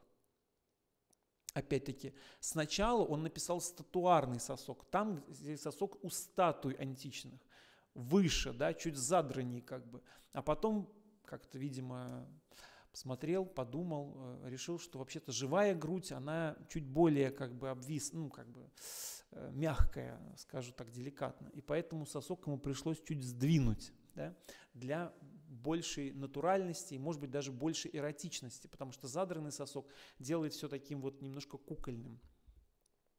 Э, и смотришь на э, обнаженки э, старые, да, это художник Соколов, Венера и Адонис, 1782 год. И удивляешься, поражаешься, насколько русская живопись с обнаженными фигурами, даже когда сюжет любовный, насколько они какие-то непорочные, да, какие они, ну не то что бесчувственные, но все-таки в них нет той эротики, той, той какой-то удивительной грани между эротизмом и благородством, или, как вот говорят тем языком, красотой и прелестью, да, которая есть во французской живописи, которую вот мы знаем там, вот сейчас я вам покажу, да, вот внизу это Энгар, Большая Далиска, работа 1814 года. Выше э, Александр Иванов, полулежащая натурщица 30-40-е годы. Это он, конечно, пишет за границей. В России он так натурщицу не мог бы нарисовать. Итак, вот он, э, то есть, по сути, это как первая вообще, первая женщина у Александра Иванова. А, и вот он ее пишет, да, он ее пишет э, такой тоже мясистый, хороший, такая итальянка, да, шикарная женщина. Но момент – Энгр пишет совершенно вычищенную, выглаженную эту одолиску, и как она все-таки, знаете, так вот э, холодно и одновременно кокетливо все-таки, да, эротично смотрит на зрителя возникает какая-то связь, возникает вот эта чувственность. Да? И знаете, вот там я говорил, точнее я цитировал, что Лосенко не пишет Эм, в отчетах про Буше и Фрагонаре, о Фрагонаре самых модных художников, э, французских художников того времени, да, которых он обязательно должен был видеть. Почему он про них не пишет? Потому что у них похабные сюжеты. Там обнаженные, тут обнаженные, тут какие-то поцелуи украдкой, там, да, вот какие-то такие вот вещи у него, защелка, вы сами фантазируете, что там на этой картине изображено. Вот, вот сюжеты Фрагонара. Это счастливые возможности качелей, с развивающимися юбками там, да. А вот, конечно, Лосенко это как будто он этого не видит. Все, я тут из России, мы тут за правду, за значит, возвышенность, нам это все неинтересно. А, и вот, как бы, да, это эротика во французском стиле, и Иванов пишет свою натуру. Вот одна деталь, и, никак, и все, и секс сразу пропадает, ничего нет. Какая деталь? Ну, как вы думаете? Да, она опустила глаза. И все. Все целомудренно, все это, знаете, как паранжа наоборот. Да? Закрываешь глаза и типа, все, мы друг друга не видим. И не то у Энгра, да, когда обнаженная вступает в какой-то контакт а, вот я сразу так, на такой мрачняк перехожу. Знаете, это просто интересно, а, как а, вот этот дух, как различаются русские академики от передвижников. Что нового дали передвижники, которые пошли в народ, которые стали писать всех подряд, да, писать очень много с натуры, и именно такой непрофессиональной натуры, не академической натуры. Это истории. Э, я вот прочитал такой у Василия Перова, известного русского художника, реалиста. Э, есть э, такая небольшая, такой рассказ под названием Ха-ха, под названием. В общем, неважно, есть рассказ, где он пишет о том, как он пошел писать труп а пошел э, значит, там, в больницу, в морг, э, попросил показать ему, хочет, ему нужно написать труп. Это, собственно, его картина «Утопленница». Э, так, его картина «Утопленница», 67 год. 1867 год. И он рассказывает, что он пришел в больницу, там ему там, перебирают труп, он говорит, вот этот хочу написать, и вдруг он смотрит на него и узнает эту женщину, которая там лежит. Молод, ну, как бы там, да, достаточно молодая, а, и как бы, вот, а кто она, что она, да вот, э, там, проститутка, условно говоря. И он говорит, и он пишет ее, э, эту женщину, а сам рассказывает как бы параллельную историю, что он ее знал, как бы, он ее знал, когда она была живой, и что был у него там преподаватель, они в Москву, приехал в Москву расписывать церковь и говорит, мне нужно, преподаватель ему э, значит, э, делится проблемой, мне нужно написать Богоматерь. я написал ее там с э, натурщика там Ивана, условно говоря. То есть женщин писали с мужчин, практиковалось. А ну на безрыбье, да? И говорит, не то, нужна все-таки женщина. Вот что же делать? В Петербурге-то трудно достать натурщицу, а здесь, в Москве, вообще подавно, там днем с огнем не найдешь. А что, и потом, а что если пойти в э, дом терпимости, может там что-то найдется? И вот они идут в дом терпимости, находят эту, значит, проститутку, какую-то проститутку, э, и пишут, вот, там его преподаватель пишет с нее Богоматерь. А потом Перов э, видит эту женщину и пишет с нее утопленницу, вот тело в больнице. И вы должны себе представить вот эти два, это не просто две картины на выходе получаются. Я имею в виду, а, допустим, да, вот такая картина э, и утопленница Перова, да. А, а получается разные как бы истории у этих, этика разная. Одна картина лабораторная, театральная, она из каких-то запчастей состоит, да? а другая картина э, из жизни вышла. То есть я встретил эту простую женщину, реальную женщину, земную женщину, Э, у меня с ней история, я знаю ее имя, я, знаю ее, я узнал ее судьбу даже, да, там как-то, то есть это э, вообще совершенно другие миры, да, как живут художники и как они производят свои картины. А как они производят, я, кстати, вам сейчас еще, да, историй э, набросаю. Скульптор Иван Витали – или Витали, отметил, что для своей лирической Венеры 1851 года, хранится в Русском музее, ему пришлось нанимать много различных живых моделей, ибо нет возможности в одной найти все условия изящного, и потому я, по общепринятому художниковому обычаю, пользуясь различными моделями, выбирая из них формы более изящные, соединял их в своем воображении старался выразить идею свою в общем составе из глины. Выразить идею, не выразить человека. Да?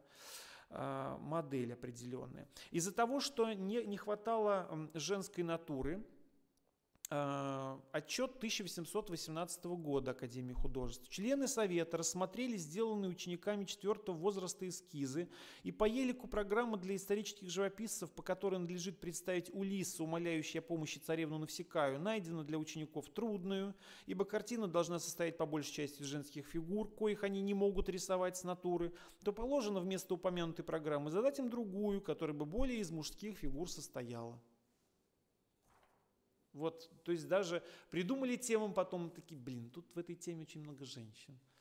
Ладно, давайте, давайте у нас будет, э, да, подвиг Киевлянина, давайте у нас будет э, э, прям умоляющий Ахиллеса, да, э, давайте что-нибудь, чтобы мужчины не были, потому что женщин нет, женщин мы не можем нарисовать. А как рисовали женщин? Давайте я вам еще одну цитату, э, ситуацию. Это тоже, кстати, Тарас Шевченко э, высмеивает одного э, некого персонажа. Он, это некий художник по фамилии Головня. Он, Головня, был пансионером общества поощрения художников. И когда он по конкурсу Академии художеств должен был исполнить программу на вторую золотую медаль, сюжет программы был «Адам и Ева над трупом своего сына Авеля», для исполнения картины понадобилась женская модель Ева – а ее в Петербурге нелегко, а главное, недешево достать можно. Парень смекнул, вы чувствуете, об этом все плакались просто, негде достать женскую модель. Парень смекнул делом и отправился к щедрому покровителю художников и тогдашнему президенту общества поощрения художников Кикину просить взаимовспомоществования, то есть денег для наемки натурщицы. И получивши 100-рублевую ассигнацию, зашил ее в тюфяк, а первозданную красавицу написал с куклы, которые употребляют живописцы для драпировок. То есть дайте денег на модель, потом, блин, 100 рублей, да я лучше с куклы по старинке напишу, чем э, потрачу, э, потрачу эти деньги. Э, вот такие вот были э, истории. Э, единственным художником, да, вот, но все-таки эротика же как-то был. То есть я, во-первых, что хочу сказать. То есть вспомните какую-нибудь картину русскую 19 века, чтобы там был, была какая-то эротика вообще. Ну, чтобы там была вот чувственная, было чувственное женское тело. Очень трудно, да, там можно сейчас, я вам сейчас покажу несколько примеров, но это действительно прям единицы какие-то, их надо прям вспоминать, вот, знаете, вот зажмурившись. Но э, тем, кто начал открывать женское тело, был, э, вене, настоящее женское тело, был Венецианов, Алексей Венецианов, которого мы упоминали. а, поскольку он был помещиком, и у него были крепостные. И он не в Академии художеств э, рисовал э, местных натурщиков, а он отправил там, ну, там рисовал, конечно, он там учился, а потом возвращался к себе в деревню, и там мог позволить себе рисовать с крестьянок. А они безропотные, ему противиться не могли. И вот он пишет перед вами две работы. Одна «Туалет Дианы» э, слева и «Купальщица» справа. 1740, простите, 1840-1829. А главным эротическим художником э, России, э, да, кстати, России. Ну, потом еще есть Александр Дейнека, он тоже бесподобный такой эротоман. Но это, конечно, Карл Брюллов. Карл Брюлов открыл вот настоящее женское тело. И, конечно, открыл его тоже не в России, он открыл в Италии. Первая эротическая картина, которую он послал в Россию, вызвал бешеный восторг, именно потому что они увидели настоящий уровень вот этой европейской э, открытости э, работы «Итальянское утро» 1823 год. Итальянка умывается, обязательно она, конечно, должна умываться топлес, не знаю, с чем это связано, но как бы вот такая чудесная картина. При том, что э, ярко освещен, э, освещена именно спина, шея, да, прозрачное ухо, а, рефлексы там на щеках, э, в основном тело, вот это все эротические места, они в тени, в то же время вот такое приятное кокетство возникает, то, чего так не хватало русской целомудренной живописи. Ну, а уж это было 20, был 23 год, а уж к 32 году он достиг просто феноменальных успехов, пишет Версавию, э, тоже как бы полную вещь, ну, вещь очень откровенную, да, с таким тоже э, живым телом. Оно, конечно, кажется немножко тоже статуарным, если мы говорим про, опять про расположение сос, сосков. Но, тем не менее, это вот как бы такое а, тоже э, откровенная, эротическая, без какой-то ви, великой мысли картина.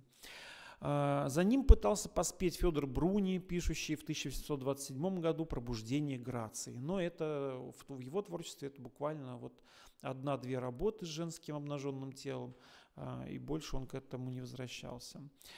А, но зато у него была работа смерть Камиллы, сестры Горация. Да, здесь э, э есть вот с, с Бруни, э, ну точнее нет, не с Бруни, а сейчас подождите, я посмотрю. Да, с Бруни. Началась вот эта тема, ну ладно, все, не, запутался уже, не с Бруни. А вообще э, очень такое интересное было решение соединения смерти и эротизма определенного. Как вы поняли, э, женскую натуру редко раздевали до гола, а в основном вот ограничивались э, грудью, топлес, и вот это, это было достаточно. И эта приоткрытость, да, эта раздетость, она, конечно, добавляла, иногда, чаще всего э, интерпретировалась именно э, с драматической точки зрения, да, то есть такое не, нечаянное оголение в момент э, вот смерти, в момент какой-то какой-то агонии, да, э, Ками, смерть Камилы, сестры Горация, сюжет здесь такой.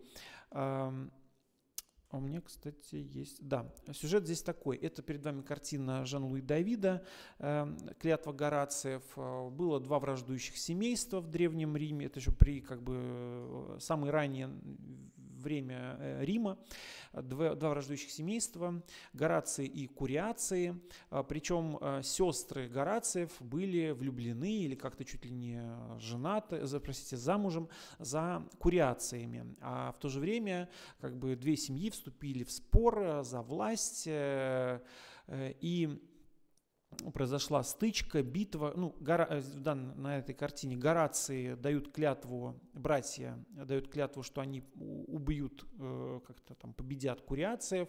Женщина, женская половина вся плачет, поскольку это тоже, да, вот это классицистическое деление, как у Лосенко в Владимире Огнет, мужчины и женщины, да. Одни бравые, бравые храбрые, а другие плачут все время поскольку незавидна их судьба. Они плачут, что ничем хорошим это не кончится, и война, вообще война дело плохое.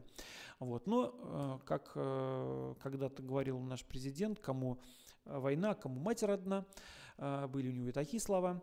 Вот здесь вы, вы эту ситуацию как раз видите, а братья Горации торжествуют. И сюжет, который выбрал Бруни, это случилась эта битва, и были убиты, бра, э, все братья были убиты, э, Горации, кроме одного, он возвращается и видит свою, ну как бы, но в то же время Горации победили, да, просто вот от них остался только, куриации все погибли, а от Горациев остался один брат. Он возвращается и видит, что его сестра плачет э, о том, что у него мужа убили, мужа Куриация или возлюбленного, и он вонзает в нее меч, вроде как бы не доставайся же никому, вот ты предательница, эм, и вот такая сцена. Но при этом в этой сцене видите, что народ э, весь ошеломлен, он не понимает, да, как же можно убить собственную сестру, Э, но вот э, Гораций здесь показан как такой вот герой, э, он не раскаивается, он не видит вообще, что он натворил, он все еще вот в, этом, в этой убежденности, что он поступил правильно, и как бы показывает на нее, как бы говоря, будет наука, да, впредь, другим будет наука. А, работа наверняка на нее оказал влияние более ранняя вещь. Это художник Матвей Пучинов, сейчас я, да, Матвей Пучинов, «Смерть Камила Сестры Горация», 1787 год. Схожесть поз определен, ну, точнее, вот это, тут любопытно, как они различаются. Пучинов сделал Горация все-таки как бы героем. То, что мы его не видим его лица, означает, что мы как бы от его имени, он от нашего имени действует, да, он наказывает за малодушие, за излишнюю чувствительность свою сестру а, то время как э, эм, Бруни разворачивает и как бы делает его все-таки персонажем, да, он как бы мы видим его, его эмоции тоже предмет нашей рефлексии, в том числе, например, нашего отрицания. И другое, другая работа, которая повлияла на Бруни, это э, работа Камучини, очень популярного в Италии художника в то время, который считался тоже там классиком и академиком, и все ехали в Италию общаться, знакомиться с Камучини и учиться у него э, уму-разуму. И вот э, взята картина Камучини. «Смерть Виргинии», где отец убивает свою дочь. Там тоже очень интересная история, коротко ее расскажу. Там мы, они мастера подобрать историю. Другое дело, что живопись не выражает, да, не может выразить всю эту историю. Надо знать, ее надо знать, э, чтобы вообще понять, что происходит. Эм, история такая, что был некий, значит, плохой человек, вот он сидит, он был судьей, ему понравилась эта Виргиния. Э, и поскольку она ему отказала, он подговорил другого человека заявить в суд, а он сам был судья, на то, что Виргиния является его рабыней. И как судья он признал правоту этого человека и как бы, то есть в, в рамках судебного заседания фактически э, сделал Виргинию рабыней. Э, но тут является ее отец, он был легионером, убивает свою дочь со словами э, «так я сделаю тебя свободной». В общем, это Этика за гранью нашего современного понимания, но красиво. А, да, после чего начинается восстание, и, э, собственно, э, этого неправедного судью, не помню его имя, э, свергают, там арестовывают и прочее, прочее. Все, все это упирается в спор плебса и патрициев древнеримских. Так вот, посмотрите на позу Виргинии, посмотрите на жест ее отца, и, соответственно, вспомните картину Бруни. Да? Здесь очень много а, схожего. И опять-таки повторяюсь, что а, художники Академии художеств прежде всего были нацелены на правильный эклектизм, да, правильное соединение каких-то частей, чужих частей, переосмысление, возможно, но никак не на сочинение а, как бы какой-то там собственной композиции. Да. Композиции сочиняли просто ну, единицы в очень редких случаях. Но, например, таким изобретателем был э, Карл Брюлов э, в своей знаменитой, э, в своем знаменитом полотне «Последний день Помпеи» 1800 30-33 года. А,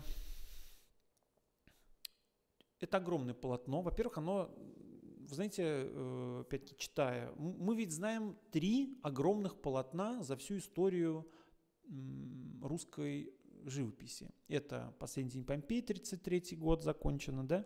Это Бруни «Медный всадник» 41 года, и это Иванов «Явление Христа народу» так, и, и у меня нету года. Но она, по-моему, чуть ли не в 50-е годы была закончена. А, это был какой-то, да, то есть феерическое полотно. Я все время говорю, что это картина блокбастер, вообще подобные картины блокбастеры, то есть э, это сейчас, знаете, мы можем зайти в какой-то зал, э, там, Русского музея или Третьяковской галереи и на подобное полотно посмотреть, ну, ну, не знаю, там, ну сколько, ну, минуту, ну, две минуты, ну, это уже предел какой-то, потому что что там смотреть, еще больше двух минут. Ну, каждого уже можно окинуть взглядом и пойти дальше. Тогда люди сидели целый день, медитировали на эти картины, по крайней мере, такой величины и ну, такой многофигурности они вот впитывали каждый там сантиметр э, этого полотна и получали огромное количество эмоций и там, не знаю, впечатлений. К сожалению, опять-таки, или к счастью, не знаю, да, с течением времени мы утратили такие, такую способность. У нас есть телевизор, у нас есть интернет, и мы, в общем, так долго не можем смотреть на застывшее изображение. А тогда такого, таких вещей не было, и люди очень медитативно жили э, и получали, в общем, массу эмоций и всяких импульсов, вот даже вот от, от живописи. От живописи даже небольшого формата, что уж говорить про такую огромную картину. И поэтому неудивительно, что когда, э, например, ну, вы наверняка наслышаны о славе этой картины, о том, что она проехала по Италии, потом она приехала в Петербург, и толпы ходили на нее смотреть. Э, и, ну, знаете, тогда люди действительно были более впечатлительны, чем сейчас. И вот, ну, немножко в сторону отойду. Э, Владимир Мартынов, композитор, современный композитор российский, он, у него есть там определенный текст, трактат, книга о том, что время композиторов кончилось, конец времени композиторов. Почему? Потому что вот раньше композиторов носили на руках и качали после того, как прозвучало их произведение. Овации могли длиться чуть ли не дольше, чем само произведение, или столько же. А сейчас послушали, все, дальше пошли, у нас ужин в соседнем ресторане. А, то есть э, уже мы не так воспринимаем остро художественные произведения. А тогда э, вот пишут про э, картину, э, про Брюлова, его картину. Города, где картина была выставлена, устраивали художнику торжественные приемы. Ему посвящали стихотворения, его носили по улицам с музыкой, цветами и факелами. Везде принимали его с почетом, как общеизвестного торжествующего гения, всеми понятого и оцененного. Вот так вот, Брюлов. А, и даже Гоголь, у него есть статья об этой картине, он говорил, да, вот сейчас говорят, что в 19 век не может родить гениев. Но это рано сказано, да, не будем, значит, э, малодушничать и скромничать. Есть имена, например, Брюлов. Э, и, в частности, тоже говоря об этой картине, ну, если с академической точки зрения посмотреть, она действительно очень академична, потому что в ней тоже очень много семейной темы. То есть что, какую группу не возьми, здесь только одна группа является цеховой, скажем так, да, вот здесь вот есть автопортрет художника, и здесь какие-то торговцы, да, с кувшинами на головах, там, да, какие-то носильщики, здесь есть священник, кажется, что, да, или какой-то, не знаю кто, а, но в основном группы разделены по семейному принципу. Молодая семья с детьми, мать с э, младенцем, дети взрослые несут своего старика отца, эм, мать упала и говорит, оставь меня, а сын не может уйти, пока, значит, она не встанет. Э, юноша, держащий свою умирающую невесту на руках. И здесь вот тоже мать с дочерьми и вот ну, старик, наверное, сам по себе. А, кстати, первый христианин, вы видите, да, крест у него на шее, э, такой провозвестник – и вот опять-таки мать с дочерьми. То есть э, очень важны вот эти семейные отношения и некие тоже гендерные роли. Защитники, э, значит, спасатели или наоборот чрезвычайно ранимые, хрупкие, беспомощные персонажи. Все здесь смешалось. Но э, эта тема также, ну, она как будто бы из древней какой-то античности, из древнего Рима история, да, извержение, извержение вулкана Везувий, но в то же время это, она передает как бы очень такое актуальное, что ли, мироощущение. Гоголь пишет про нее. Картина Брюлова можно может назваться полным всемирным созданием. В ней все заключилось. По крайней мере, она захватила в область свою столько разро- разнородного, сколько до него никто не захватывал. Мысль ее принадлежит совершенно, вот это вот важная фраза, мысль ее принадлежит совершенно вкусу нашего века, который вообще, как бы сам чувствуя свое страшное раздробление, стремится совокуплять все явления в общие группы и выбирает сильные кризисы, чувствуемые целую массою. Ну, то есть, э, хочу уточнить, то есть эта картина, эта живость после Великой Французской революции, после войны 1812 года э, и после э, вообще всяческих исторических катаклизмов, э, там польское восстание, э, не знаю, там французские, французские всякие революции, перевороты, которые были не только вот э, после Наполеона даже, да, э, вот все, все вот, все вот это.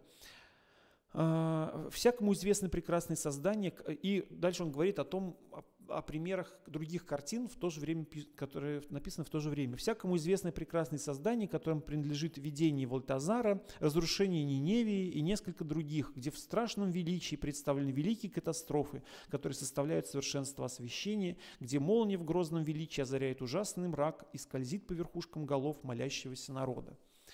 То есть э, это описание классической картины, э, картины катастрофы того времени, да, как фильм «Катастрофа». Вот были такие в моде картины катастрофы. Катастрофы э, от того, что мы познали ситуации, когда гибнут целые народы, когда, что называется, там добро и зло меняются местами, когда все разрушается, когда там головы королей э, летят э, там на землю и прочее, прочее. Или там Э, один народ идет на другой, и даже народы, да, вот эта война 12 года, наполеоновская армия прошла, э, прошла по Европе и там вытоптала, значит, ее половину этой, э, половину этой части света. Но и эта картина, я хочу сказать, это идеал Брюллова. То есть вот эти группы, вот эти блески, вот эта катастрофа, вот это, это ощущение, да. А потом он приезжает, его вынуждают, у него был большой конфликт, с, это отдельная история, прям можно зачитываться, его конфликты с царской семьей Николая I, э, как Николай, значит, пытается там, диктовать, что делать художникам, устраивать какие-то цензуры, даже, точнее, играет в отсутствие цензуры, а в итоге очень любит контроль над художником. Ну, это еще по Пушкину, да, тоже все известно. А, нет, я не листец, когда царю я гимны вольные слагаю. Там, строчка из Пушкина. А царь какой? Николай I.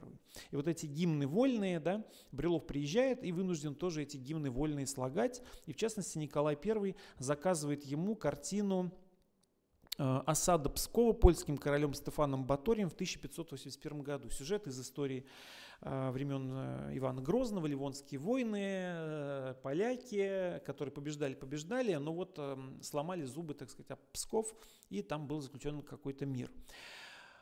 Эта картина просто такого же размера огромного, как э, «Последний день Помпеи», но при этом она является как бы антипоследним днем Помпеи. Во-первых, «Последний день Помпеи» — это картина такого э, торжествующего сочувствия. Да? Тот же Гоголь пишет про «Последний день Помпеи», что главная ее мысль в том, как нам дорога земля – да, как нам дорога жизнь, какие прекрасные люди гибнут на этой картине, да, матери, влюбленные, там, э, благородные дети, отцы, да, вот, а все здесь прекрасные, но они гибнут, и э, поэтому мы говорим, как прекрасна земля, как нам жаль с ней прощаться.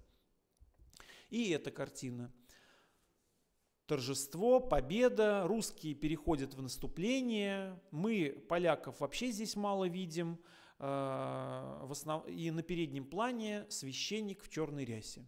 Да?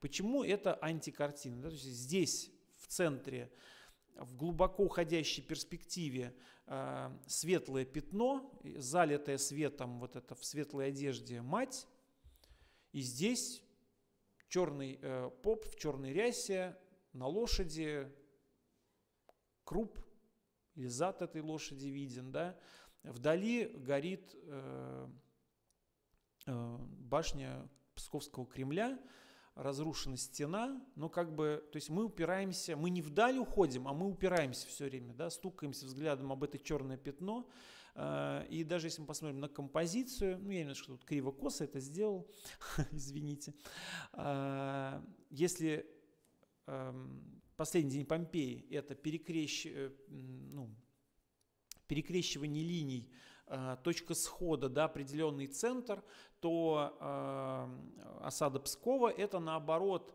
э, такая обтекаемая композиция, немножко вздутая на нас, не уходящая вдаль, как последний Помпей, а наоборот вздутая на нас, такой пузырь и э, фигуры как бы вот в виде такой э, бубновой масти, что ли, так сложенные, и это как бы совершенно очень динамично, экспрессивно, я как бы здесь спорить не, не буду, но это действительно как бы анти-последний день Помпей, поскольку эта картина не затягивает нас, а наоборот всячески выталкивает выдувает, как бы, да, вот как мыльным пузырем, как бы нас оттуда, э, значит, э, она сама становится, композиция, как под лупой такой, да, а, потому что как бы наиболее близкие э, элементы, все остальные уходят в разные стороны, да, э, и, соответственно, есть ощущение, что мы вообще как бы выпадаем из этого всего. И здесь сочувствовать нам некому, ну, разве что от падшей лошади. Больше все остальные страшно счастливы, и э, их ждет только большая радость.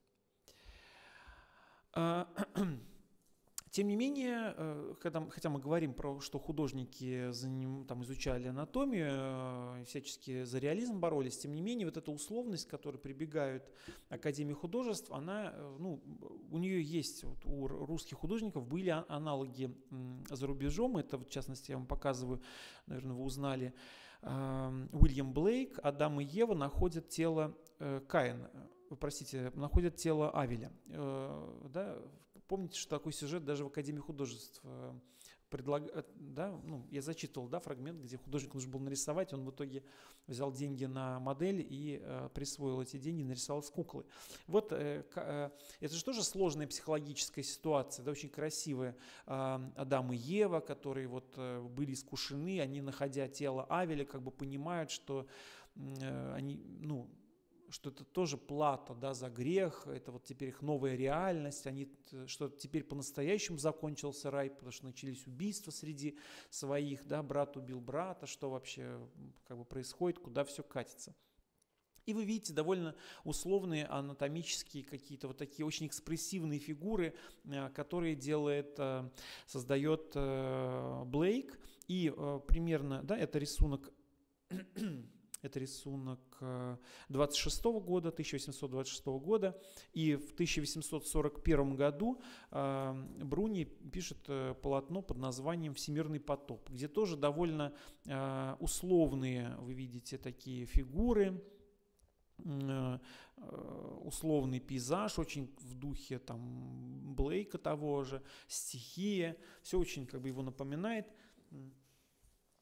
Э, но там только гораздо позже. Вообще очень интересно, что они, э, русские академисты, иногда находили, хотя они ехали в Италию, они находили поддержку своим вкусом, своим э, экспрессивно-идеологическим э, формулам, э, очень стремящимся к аскетизму, они находили именно в э, протестантском искусстве. То есть, ну, в частности, если Блейк, то это английская, английская школа или немецкая школа, потому что, например, тот же Бруни или Александр Иванов были под большим впечатлением от назарейцев. Но я про назарейцев сейчас еще позже расскажу.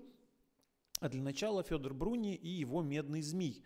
Работа, которая написана как бы по следам успеха Брюлова, и они сначала были друзьями, потом рассорились, и, конечно, Бруни считал, что он должен как-то Брюлова э, перещеголять. В частности, он его точно перещеголял в размере. Это самая большая картина э, в русском музее и вообще одна из самых больших в русской живописи.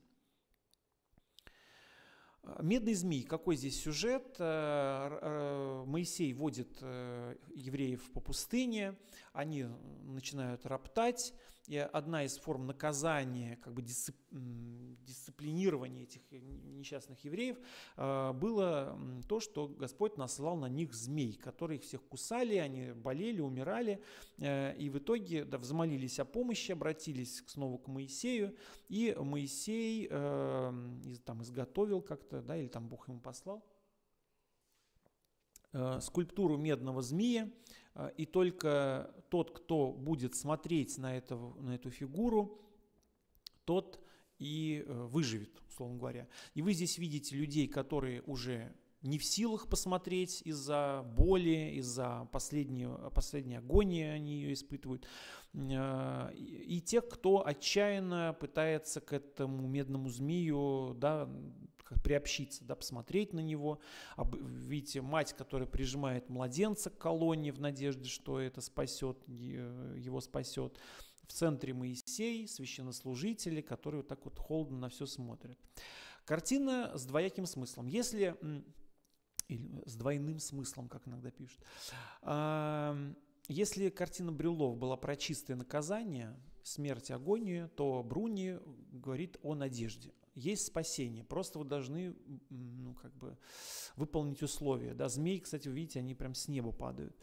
Э, преодолейте страх, преодолейте боль, э, возьмите себя в руки, да, посмотрите на медного змея. Условия очень просты. Вам нужно только как бы признать, э, что спасение возможно, да, перестать отчаиваться. И вы видите разных людей, которые в разных тут здесь состояниях встречают этот момент, тоже подобно Брюлову. Он э, не массу пишет, а делит фигуры на группы. Это тоже семейные группы. Русский классицизм обожает семейный вопрос, поэтому здесь видите матерей с детьми, вы видите родителей, хоронящих своих молодых детей, эм, там, или, там, или наоборот. Вы видите одиночек, которые уже никто им не поможет, вот они лежат по центру. Считается, что эта работа ну, такая как бы от, ответ э, тоже Николаю II, ответ на происходящее в России, на цензуру, как бы призыв к милосердию, да, милосердие возможно, да, потому что, конечно, все обсуждают судьбу декабристов, и вот вроде бы это тоже такое политическое послание, э, очень важно, есть э, как бы свет в конце тоннеля или нет э, в работах художников. А теперь про назарейцев – уже 9, я немножко задерживаюсь, но мы уже близки к, к финалу, нам остался только Иванов. А, Назарейцы – это группа немецких художников, которая приехала в Италию и которая искала, вы знаете, это удивительно, в 19 веке вот немецкие художники, еще английские, но попозже а, образуют такое прерафаэлитское со, прерафаэлитские сообщества, то есть они интересуются искусством европейским до Рафаэля, до эпохи Возрождения, искусством э, иконописи или хотя бы Джотто, или хотя бы Чимабуи, э, там, художников э, круга, э, ну не знаю, там, Боттичелли или, например, э,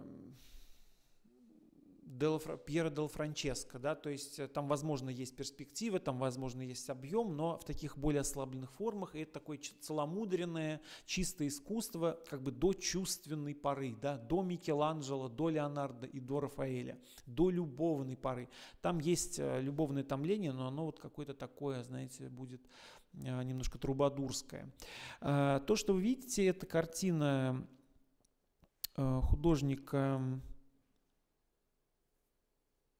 Ой, ну я же выписывал. А, вот, Иоганна Фридриха Овербека, главы назарейцев. Да, почему они, э, почему, кто они, почему они жили в Италии? Они как бы немецкие художники, которые поехали, переехали в Италию, там устроили художественную коммуну в надежде, что они здесь вот э, прикоснутся к э, истокам, да, к, к каким-то вот к чистым истокам э, вот этого итальянского раннего возрождения. И в рамках этого раннего возрождения пишут картину. То есть то, что вы видите, это полотно 1828 года, 19 век, да, который называется «Италия и Германия».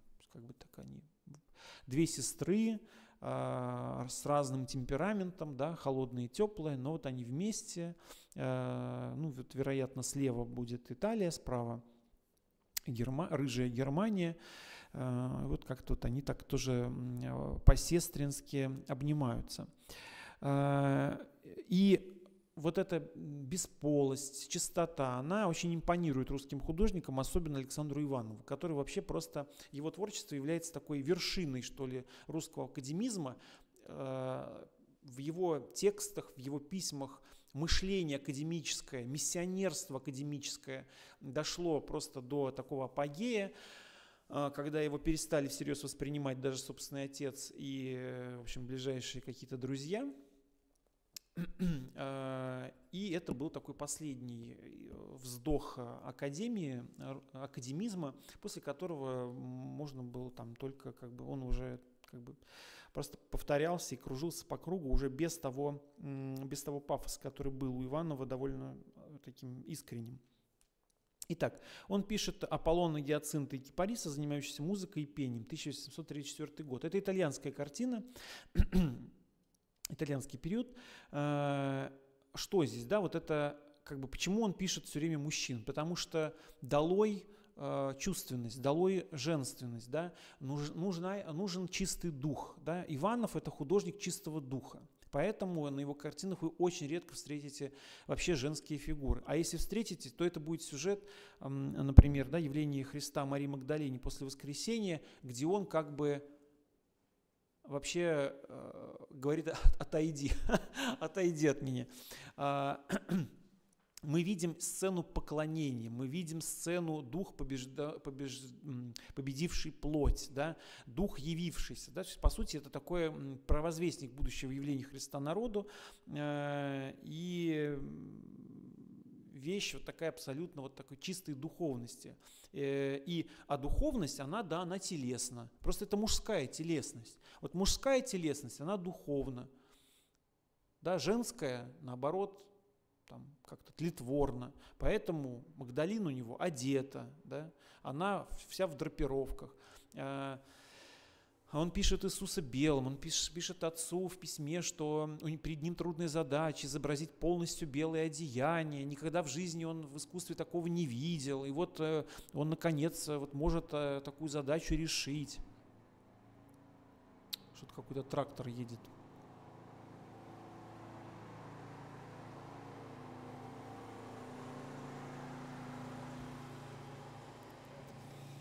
И такую чистоту и бестелесность он встречает и в творчестве Авербека.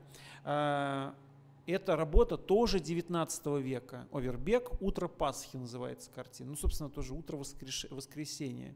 Э, э, никакого, знаете, вот они, знаете, смотрят невидящими взглядами, а у них абсолютно вот эти чистые, просветленные лица. Мы бы назвали их искусственными, кукольными, но для тех художников это именно вот э, э, лицо абсолютного покоя. Да? Вы здесь тоже можете видеть это лицо. Да? Есть жест, но, но как бы лицо без малейшей мимической как бы морщины, да, оно такое вот лишь взглядом, опять-таки, как с икон, он там что-то такое вот э, общается с Марии Магдалины, как бы даже без слов. Здесь то же самое. И в итоге, да, потом появляется работа, а я не хочу вот это сначала сказать, да? Ну ладно, потом. А, и в итоге появляется явление Христа народу, которое первое название картины «Явление Мессии», то есть, понимаете, ведь что здесь за сцена? Это сцена крещения. Иисус приходит креститься. К, э, в первой встрече Иисуса с э, Иоанном Крестителем, э, Иоанн Предтеча, что-то прям такое музыкальное. А можете кто-нибудь закрыть окно? Просто, мне кажется, сразу нам станет лучше. Спасибо большое. А, и, но это не просто сцена крещения – а Иисус пришел к сам креститься, а это именно да, явление, первое появление Христа народу, э, народ видит, для кого вообще он, к чему он готовился, и вообще картина, ну там подлинный такой, э, подлинная мысль картины, мысль именно, да, не сюжет, а мысль э, в том, что э, мы как-то жили, мы что-то делали, и был человек, который нас куда-то вел, а потом этот человек говорит, а на самом деле мы все это все делали ради него, или ради этого, да, для какого-то другого момента, другой эпохи, другой какой-то ступени развития. Вот сейчас эта ступень э, наступает, да, то есть такой пограничный как бы момент, э, жили одним образом, сейчас будем жить по-другому. И пере, как бы передача вот этой марафонской эстафеты, да, э, точнее эстафетной палочки да, э, от Иоанна Крестителя к уже настоящему э, Мессии, который будет на кресте. Да, собственно, как бы крест это вот ради него все было. Да, такой именно момент как бы перехода да, с рубеж эпох, что ли, изображается. Э, поэтому Иисус, вот он так обособлен, отделен, он, в, он все еще вдалеке, да, он все еще очень вдалеке, и люди вынуждены, вы видите, там кто-то волосы поправляет, кто-то щурится, да, все как-то оборачиваются, да, все хотят увидеть, это что, что, кто, да, что это за будущее, да, там Э, или как пела Пугачева, жил, э, устроены так люди, желают знать, желают знать, желают знать, что будет. Вот, это, вот этот самый момент, что будет, он в, на этой э, картине, собственно, и э, изображен. Она тоже огромная. И вы знаете, уже после двух огромных картин, эм, а он ее еще писал очень долго, там, больше 10 лет он писал это полотно э, с огромным количеством эскизов. Ну, это все тоже известно. Приходите в Третьяковку и видите, что кроме картины еще огромное количество эскизов выставлено. То же самое было на первом показе в Петербурге. Э, но Иванов э, встречал непонимание. Вы знаете, это все-таки, почему я говорю, это был излет академической эпохи. Уже это середина 19 века, уже 50-е годы, э, и уже, условно говоря, э, после Брюловой, после Бруни Иванов очень раздосадованно пишет, э, знаю, что многие скажут, да зачем писать огромные картины, куда их девать?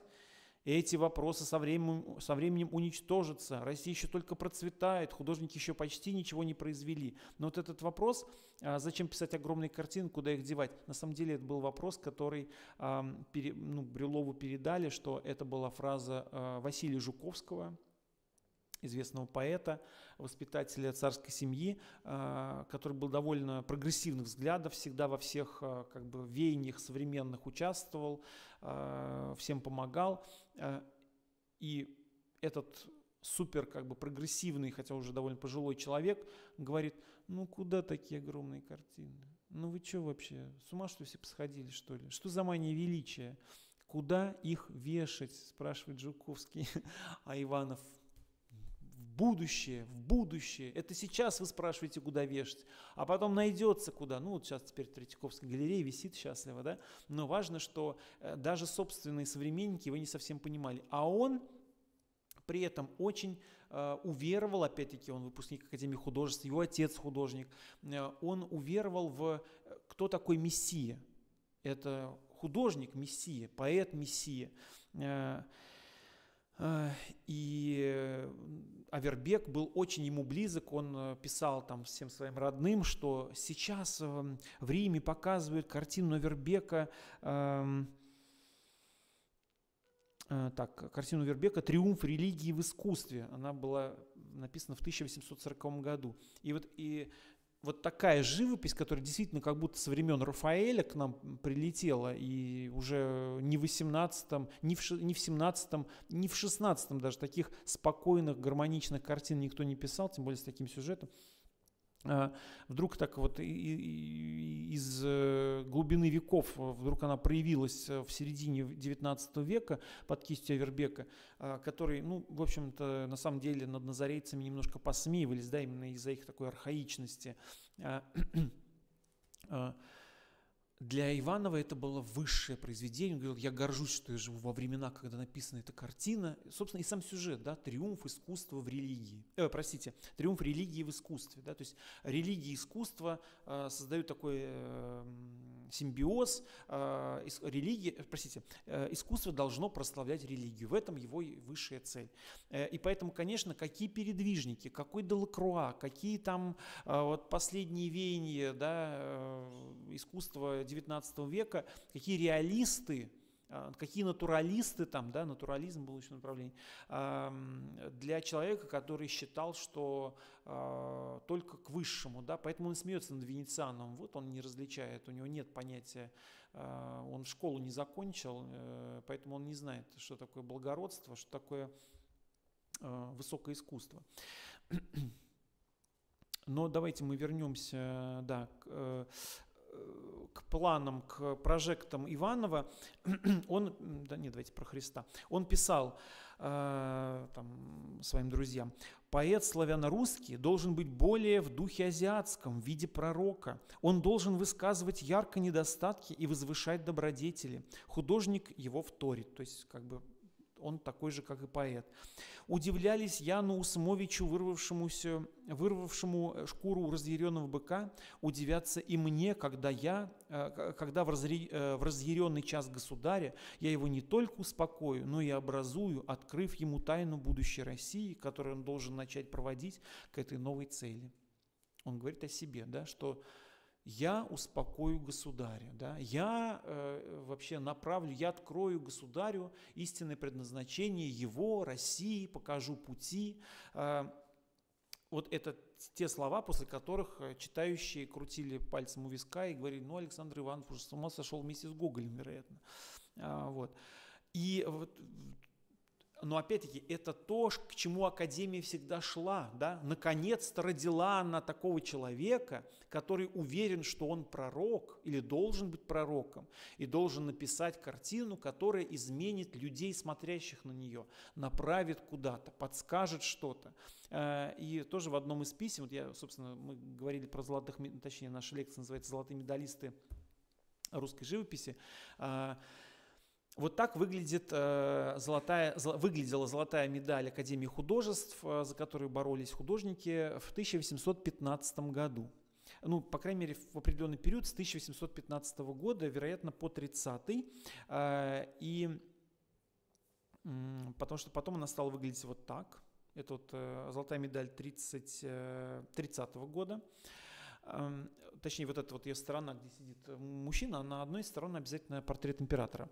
Так вот, э, Александр Иванов писал, что надо бы нам, э, а, как, к русским художникам очень плохо относятся пос, пос, ну, русские консулы, русские послы, русская знать в Италии.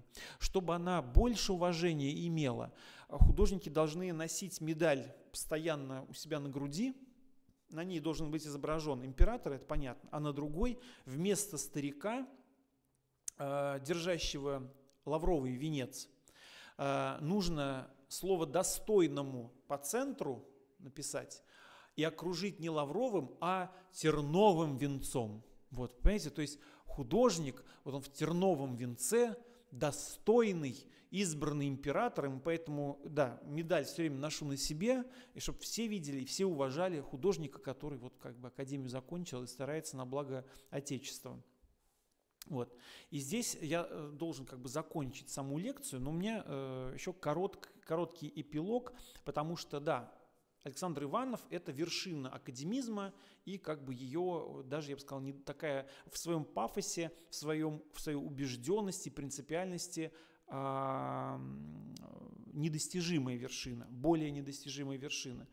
А, а в качестве такого эпилога, что ли, потому что в следующий раз мы с вами будем говорить о передвижниках, мне хочется указать на эту картину Ареста Кипренского, который, хотя и, опять-таки, больше известен как портретист, у него есть несколько сюжетных вещей. И эта работа называется «Читатели газет в Неаполе» или «Путешественники в Неаполе», там, читающие газету – Э, слово «путешественник» здесь важно. Современники его знали и всегда называли именно так. Ваши путешественники пользуются успехом, писал э, там э, учредитель выставки из Петербурга. И что это за путешественники? То есть для современников было очевидно, что это не русские типажи, что это не русские читатели газет. И современные критики считают, что работа посвящена полякам. А, беглые поляки в Италии, читающие газету, французскую газету с новостями а, о восстании в Польше 1730-31 годов. Вещь написана в 1931 году. А, и, соответственно, из такой вот вроде бы невинной, но очень современной э, портретной группы, Почему современный? В какой-то веке газета в картину попала, да? А, до этого все как-то луки, стрелы, там, а, сандалии, а тут вдруг газета. И такая собачка, да, современная. Это не какой-то светский портрет, а какая-то сюжетная сцена, как будто бы бытовая. Так вот, и, да еще и поляки, читающие новости с со своей родной Польши, который борется, ну, в тот момент э, было восстание за независимость от Российской империи. Что-то вообще кощунственное, но благодаря тому, что как-то это все э, загадками, вот разве что, видите, год так ясно вычерчен, да, новости были волнующие, новости были пугающие, а, восстание, собственно, было подавлено, да, и на заднем плане э, там, я не знаю, Везу, ну, Везувий давно потух, какая-нибудь Этна, да, некий вулкан, который начинает здесь дымиться да, у них э, на заднем плане. А, извержение вулкана как а, тоже какой-то значит, символ каких-то революций. Все-таки художники, даже академисты, понимали, что в той или иной степени им нужно вернуться к реальности, им нужно вернуться к своим современникам и описывать их жизнь и их какие-то тревоги социальные, в том числе политические, э, разные. Да? И э, в итоге Академия потихонечку, не, точнее, Академия попыталась не сдаться, она выдержала бой эти бунты 14, но зато э, ширилось вот это движение художников, которые работали с реальностью. Э, спасибо за внимание. О реальности еще поговорим. Э, вот. И да, до новых встреч на лекции про передвижников. Спасибо.